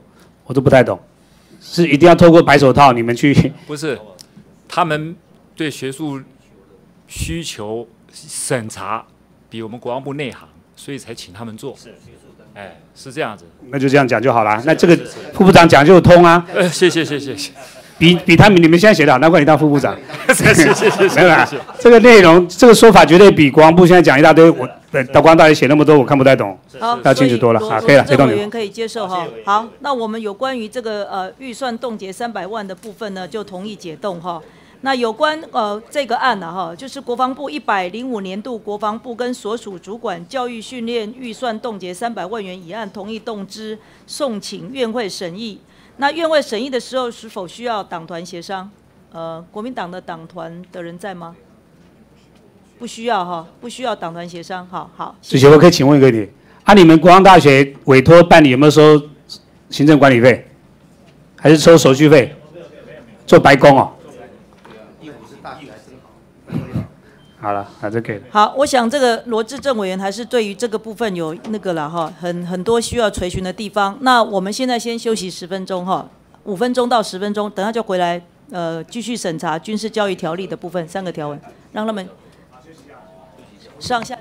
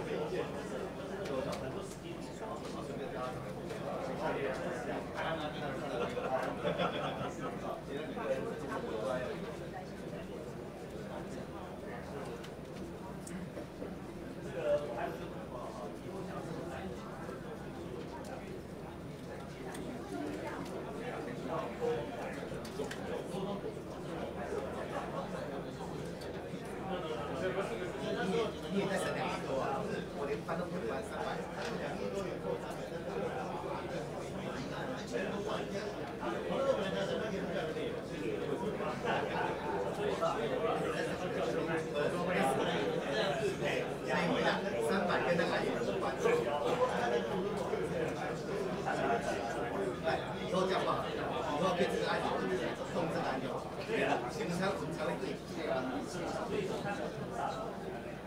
解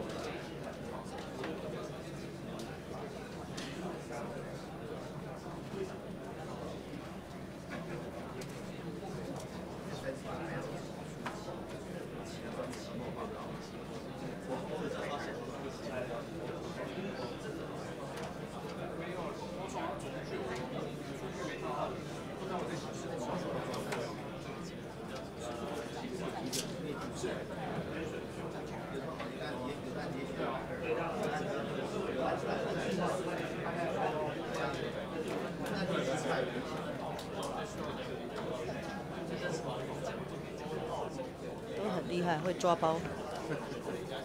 好，我们现在继续审查《军事教育条例》第六条、第十六条、第二十一条之二条文，请议事人员宣读条文。军事教育条例修正条文第六条，进修教育以增进现职国军军官及士官官科专业专长学能为宗旨，于军事学校或军事训练机构依官科或职类分设正规班、专业专长班办理之，并得协调大专校院办理进修。前项正规班、专业专长班之设立与课程标准、学员资格、修业期限及授予军事学资等事项，由国防部定之。以上宣读。好，我们三个条文都全部念完好吗？第十六条，国防部为储备军官人力来源，得依国民教育法及高级中等教育法规定之标准，预设设预备学校，前项学校分设国中部及高中部，其设立设备、师资、课程纲要、学生资格、修业年限、毕业资格、毕业证书发给等事项，依教育法令规定办理。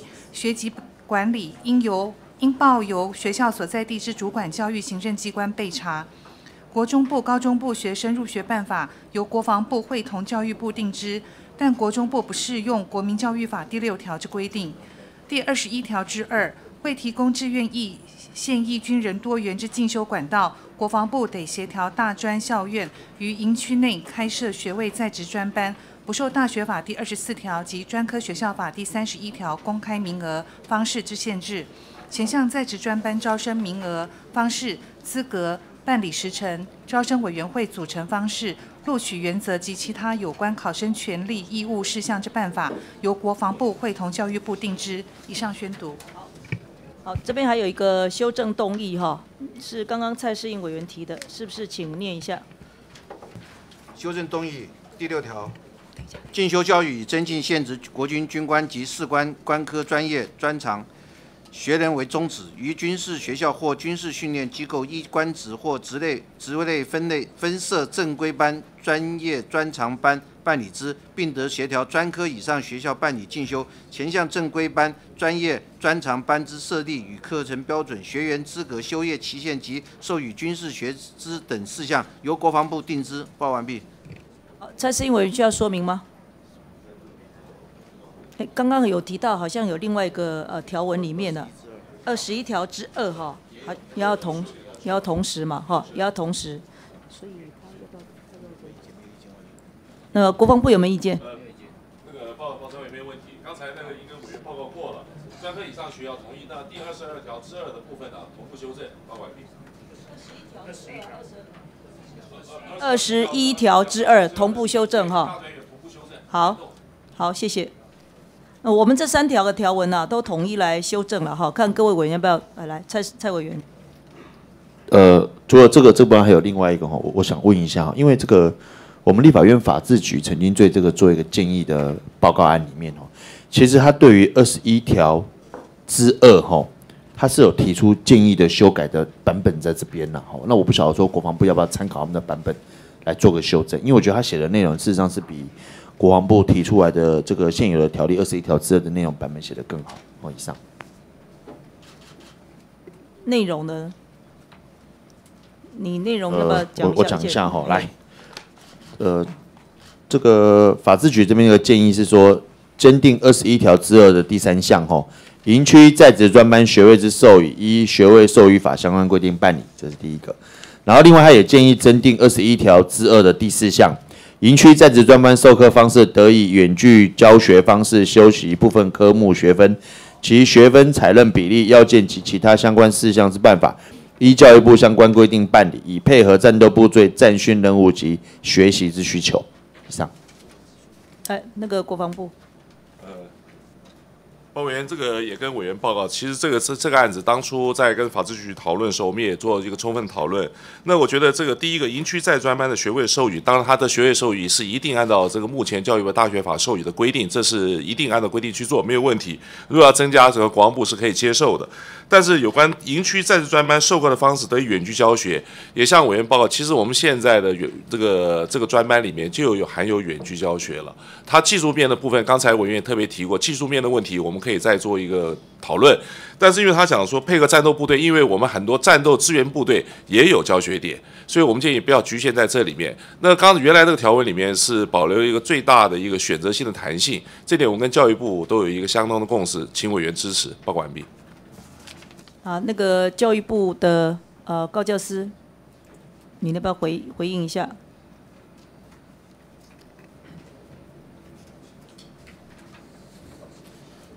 啊，呃，主席跟委委员报告，就是说有关于学位授予那一块，目前确实军事教育条例里面的规定，各级学位基本上就是依照教育部的学位授予法是已经有。好，那如果要在这边再加清楚，哈，基本上教育部我们没有特别的意见。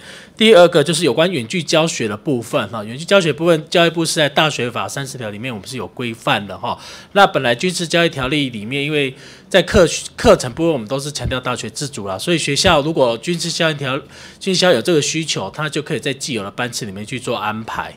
好，所我所以这个文字如果说要加的话，可能就看国防部的呃规划的状况。那如果说真的要加的话，可能就不是由教育部定制，因为我们里面有关于呃这种相关的跟教国防部有关，都是国防部会同教育部来定。好，以上报告。那个刚刚主席，对不起，我会再问一下教育部一个问题一下哈，就是说呃，他因为这个二十一条之后后面有写到一句话哈，他说。开设在职专班不受大学法第二十四条及专科学校法第三条公开名额方式的限制嘛？他把这句话写上去。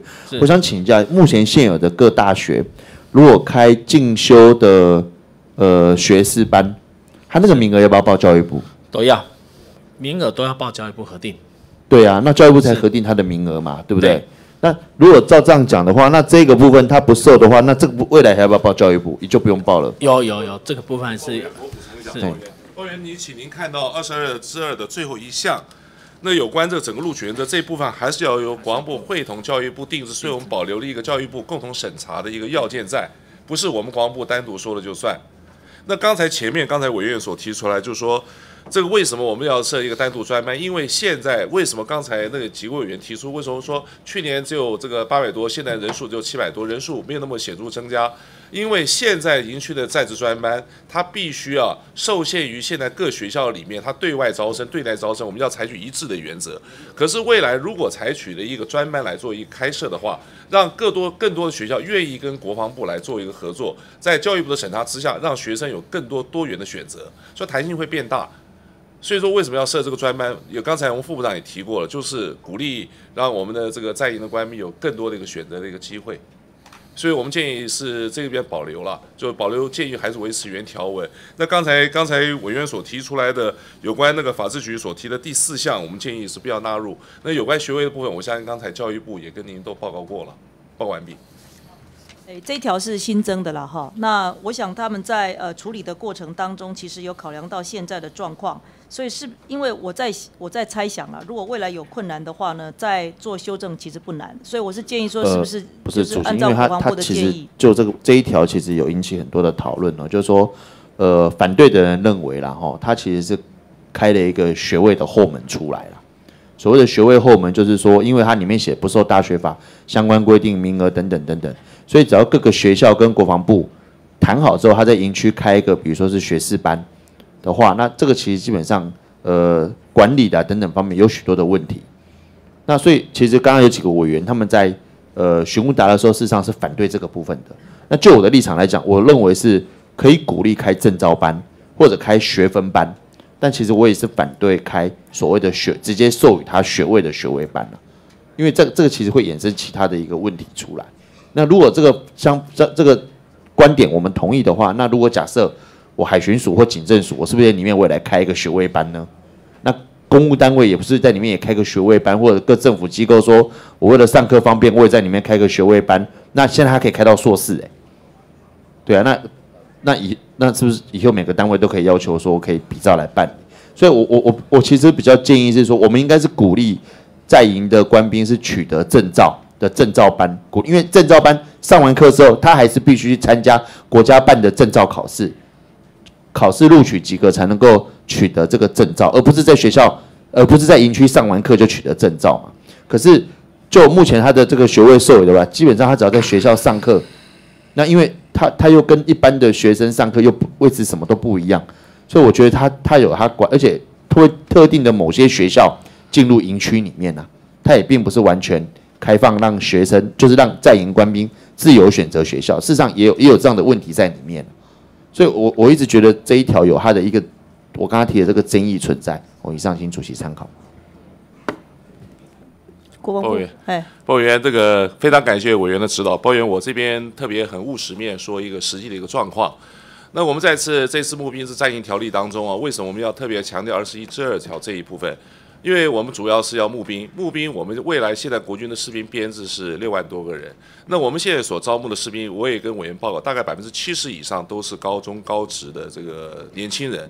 那这些高中高职年轻人到了军中之后，我们希望在四年当中，刚才那个罗委员也特别提到过，我们希望让这这些学生进来以后，当然他不可能四年修到大学，可是我们用。这个阶梯式的方式、累进的方式，因为它毕竟存在这一个诱因。那现在我们跟好几个大学在合作当中，让学生呢先从二技、二专取得副学士这个学位。如果加上累进之后，他有机会再学这个修习到这个学士的学位。那刚才跟委员报告，最近在我们好几个部队当中，这些学校、这些学生、这些士年轻的士兵呢，对于参加这个学习，其实是抱度高度的一个学习的热忱。所以我们特别如果有机会，我们也欢迎委员呢到我们营区实际来看我们目前一个教学的状况，因为它毕竟存在是一个非常重大的一个诱因。如果过去之后，会让更多的学校愿意跟国军合作，也让更多年轻人有希望。报告完毕。呃，罗云，那个主席还有国防部官员，我这样子啊，就是说，因为目的都是为了增加募兵的诱因嘛。那您刚也提到，就是说我们主要是吸引高中职作为一般的呃升级完。对对。对于副学士或学士部分，其实我没有太大的意见。如果能够募得用这个募得到，然后呢，让他们能够经过几年得到学士，我我都没有意见。我比较会保留是硕士跟博士这一块。博士没有。呃，硕士硕士这一块。因为硕士这一块，它涉及到跟私立学校在抢学生的部分。那第二个就是说，能够修硕士，坦白讲，他修的课会比较少，大概一个礼拜六个小时，所以他会的确会创造一批可能相对来讲，我认为可能就是国防部自己的这些在里面已经可能是军官的。乃至于是我们军校毕业，他需要硕士，因为有一阵子国防部非常流行嘛，到文学校去读在职专班的硕士，甚至博士的部分，所以那部分反而会造成更多的不公平。所以如果说只局限在学士的话，我觉得还有道理，啊，但是我要开放到硕士乃至于博士那一块啊，我会比较保留啦，因为我们对硕博士的那个要求是不太一样的。那加上就是说他修的学分也好，乃至于这个这个这个呃论文的要求。跟学学士比起来是相对比较比较比较不一样的了啊，所以看怎么处理哈。学士的部分我是乃至于副学士来吸引自愿意的高中职这些毕业的，我没有意见，甚至我认为是应该可以的，只要实务上可行的话。但是如果要开放一直往上到乃至于到硕士的部分，因为现在已经有硕士，我会比较保留了。在营吗？在营是有硕士的吗？硕士有硕士班制，但现在已经在做。我跟委员报告，不要委员考虑的很有道理了，但是就是说。委员担心说开了一个后门，好像很容易会。委员各位想想看啊，如果这个后门要开啊，你得先进来当当兵呐，你不能借着这个借着这个呃为了要硕士才当兵。如果真的为了要拿硕士才来当兵，其实这是好事嘛，这就是我们鼓励他当兵进来的好好好方法啊。我们来做这个东西，其实我我建议委员，我们不要说 focus 在这个，就是这个技术，而我们要从步兵制宽广一点面，我们提供一个很好的愿景，主要是干嘛呢？吸引年轻人。其实真正来讲，我们硕士，你说一年能够就算读读几个，对我们来讲影响真的很小。可是呢，你提供年轻人一个愿景，我觉得我们从这个宽广面来看呢，这是值得的。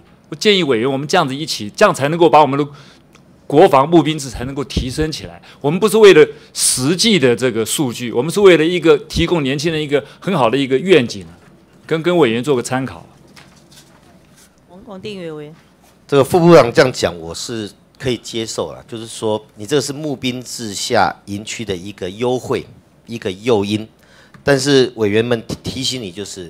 学位的授予还是有它的，我我相信高教师应该站在。我们严格把关嘛。学位的授予有它的，它它是有一些条件的要求。那我相信军方在控管这一部分要做好。那事实上我也不要提了，很多在外面的学校哈，没上课也都拿到学位的哈，问题比军方还严重。你们至少不会翘课哈，但是不能把它弄得像举光原地了。不会不会，保证不会。它还是一个严谨的求学过程。是是。第二个我要提醒你一点，就是说。真的，如果说真的为了拿硕士先去从军的人哈，这个人大概头不是头脑有问题，就是非常的爱国。对呀，所以不会有后后门嘛。不过我建议你，就是说，因为你们在在营授予学位的几乎都是私立学校，那这些私立学校的评鉴，事实上你可以问一下教育部，哦，他们的评鉴就在他们在学术地位上，它是有一定的评价的哈。所以在营授予学位的部分，请你们控管好以外，对于可以合作的私立大学，事实上你们要参考一下他们的评鉴结果，你不要变成一些被管制了，或者甚至于被限制招生了、评鉴不良的学校，借由军方，它等于另外一块市场去经营。我我觉得我们不能让我们军方的人成为冤大头。我们要是是要拿好的学校，这个是是是。所以这一点我是附加，就是你要有一个评鉴的，要参考他们评鉴的学校。他们只要只要教育部列为评鉴不及格的，或者被限制控管学校的就解约啊，就解约就解约，不要让他不要让就每次哈香蕉滞销你们就吃香蕉，学校不好就送到外面去，捐方不应该当冤大头，你们应该拿到好的品质。这点我们一定照办。然后另外也建议你们，就是我们在营授予学院是私立的，那事实上你要增加诱因的话，我上次有提，跟一些国立大学谈，不一定要再在营，就是你进到我们募兵进来了，你你服完四年，我们跟国立大学外加像侨生、侨外生的方式，外加在成大、台大，就是国家出钱保障你去读书，你就到那边去读。那你在十八岁招募进来的兵员，嗯他的心跟素质上会强化很多啊这一块补强。那至于在营授予学位，只要你控管品质，然后学校的评鉴要纳入你们合作的对象考虑，本期是没有意见啊。没问题，我们一定照办。谢谢，谢谢委员。主席，我就再再再询问一下哈，我们这个没有施行细则嘛，对，但是有作业的办法。我们要会定报告报委员，因为这个今天法院过了以后，我们会再跟教育部，我们会再定一个营区在职专班一个招生各项的一个细则的一个规定。我们也在，我们去年已经定一个草案出来了，所有相关细节部分，当然也会刚才把九位委员做的指导，包含学校的一个评鉴，把它放进去哎对，还有将来一个学位的授予这部分，我们会再做一个明确的律定。因为那个刚才副部长提到那个技术性东西，我之所以关心，因为他他是一个人的一生，他未来在读这个学位的过程当中，可能面临很多问题。我随便举例子，很多学校现在同样的情况，读到一半这个系不见了，是啊，那这是接下来怎么办？那就变成教育部的问题啊，啊，他的学分或者已经修完的学分，可不可以转到别的系所？是，这是另外一个要考虑的问题啊，甚至有可能啊，不要说倒掉了，我今天是在在营的一般生，在营的这个在在营生，我四年五年当完兵之后我退伍了，但是我学位没有拿完，可不可以继续当这个学校读？下一步。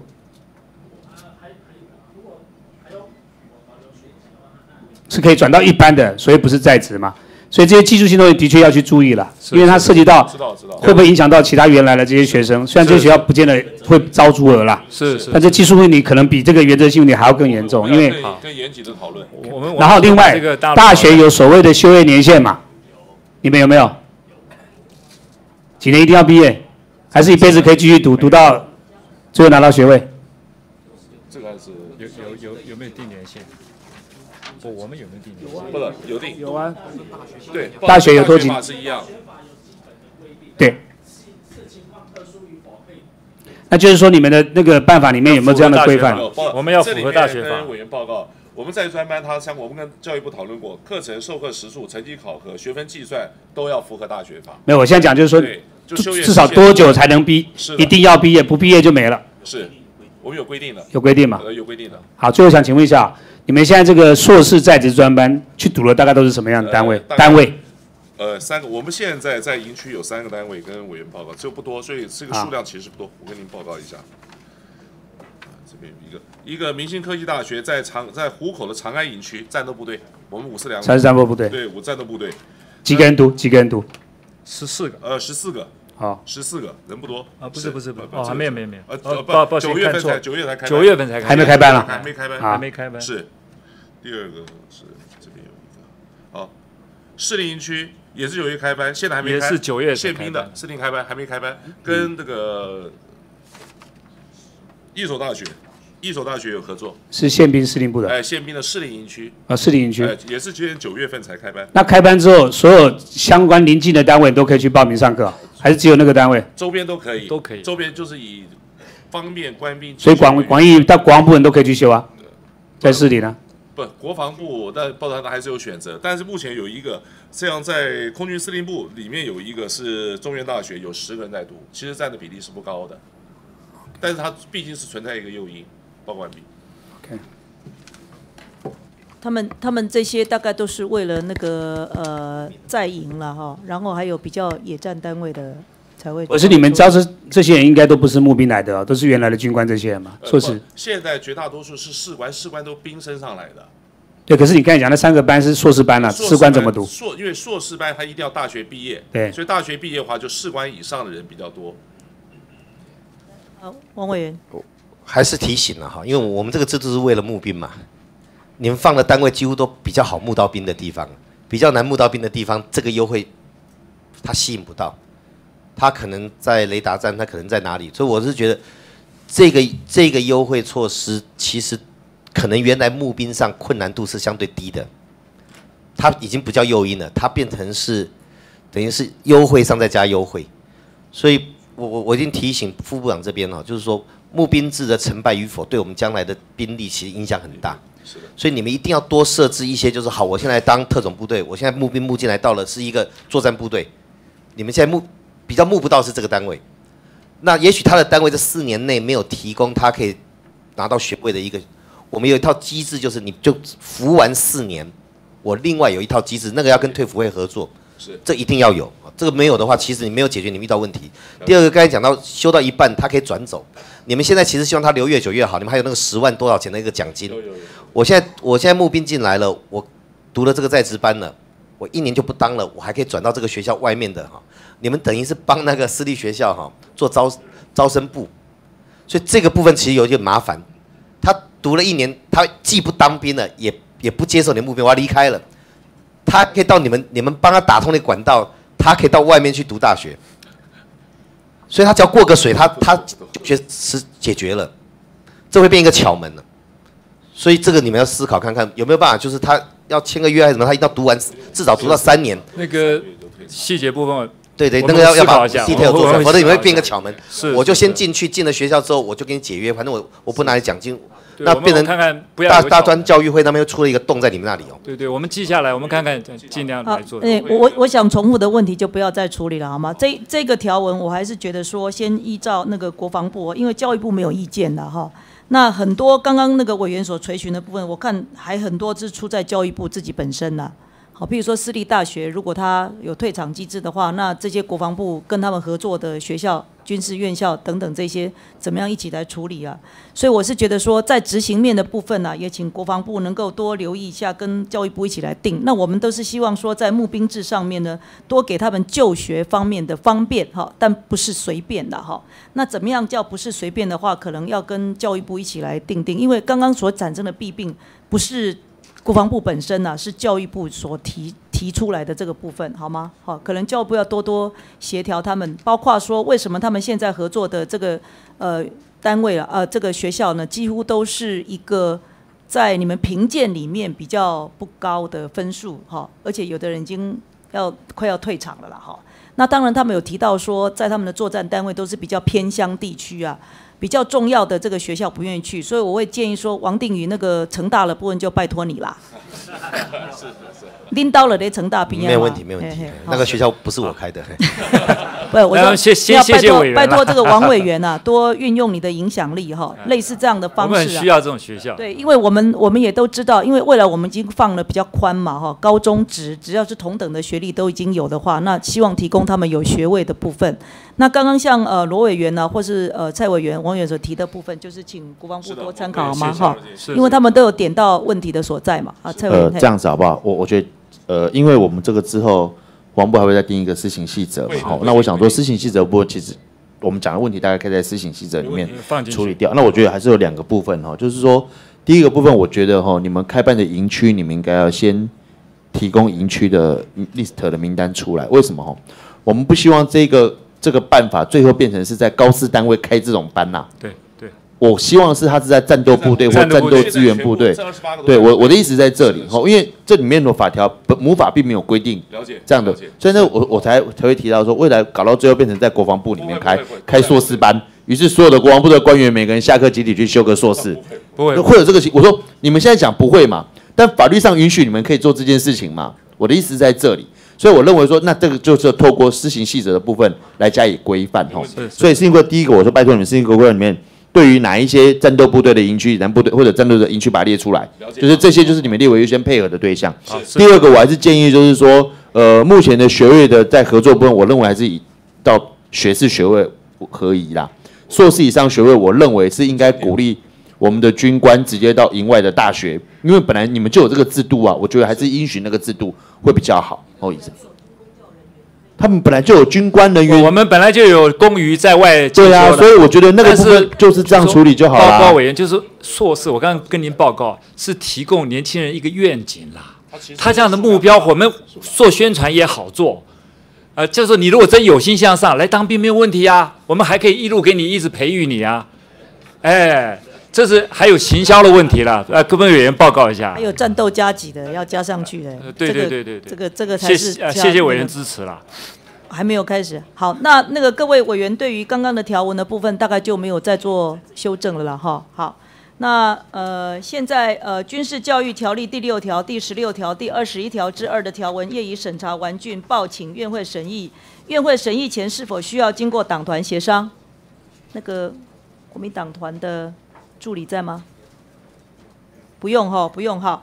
那院会的时候要推拜一位委员，我比较觉得蔡世英应该去比较，没关系，我没有我去。院会没去没怎样啊，就说没意见呢、可以吗？好，那我们推举蔡世英委员好吗？好，好，散会，谢谢各位。好，谢谢委员。谢昭伟，谢谢委员。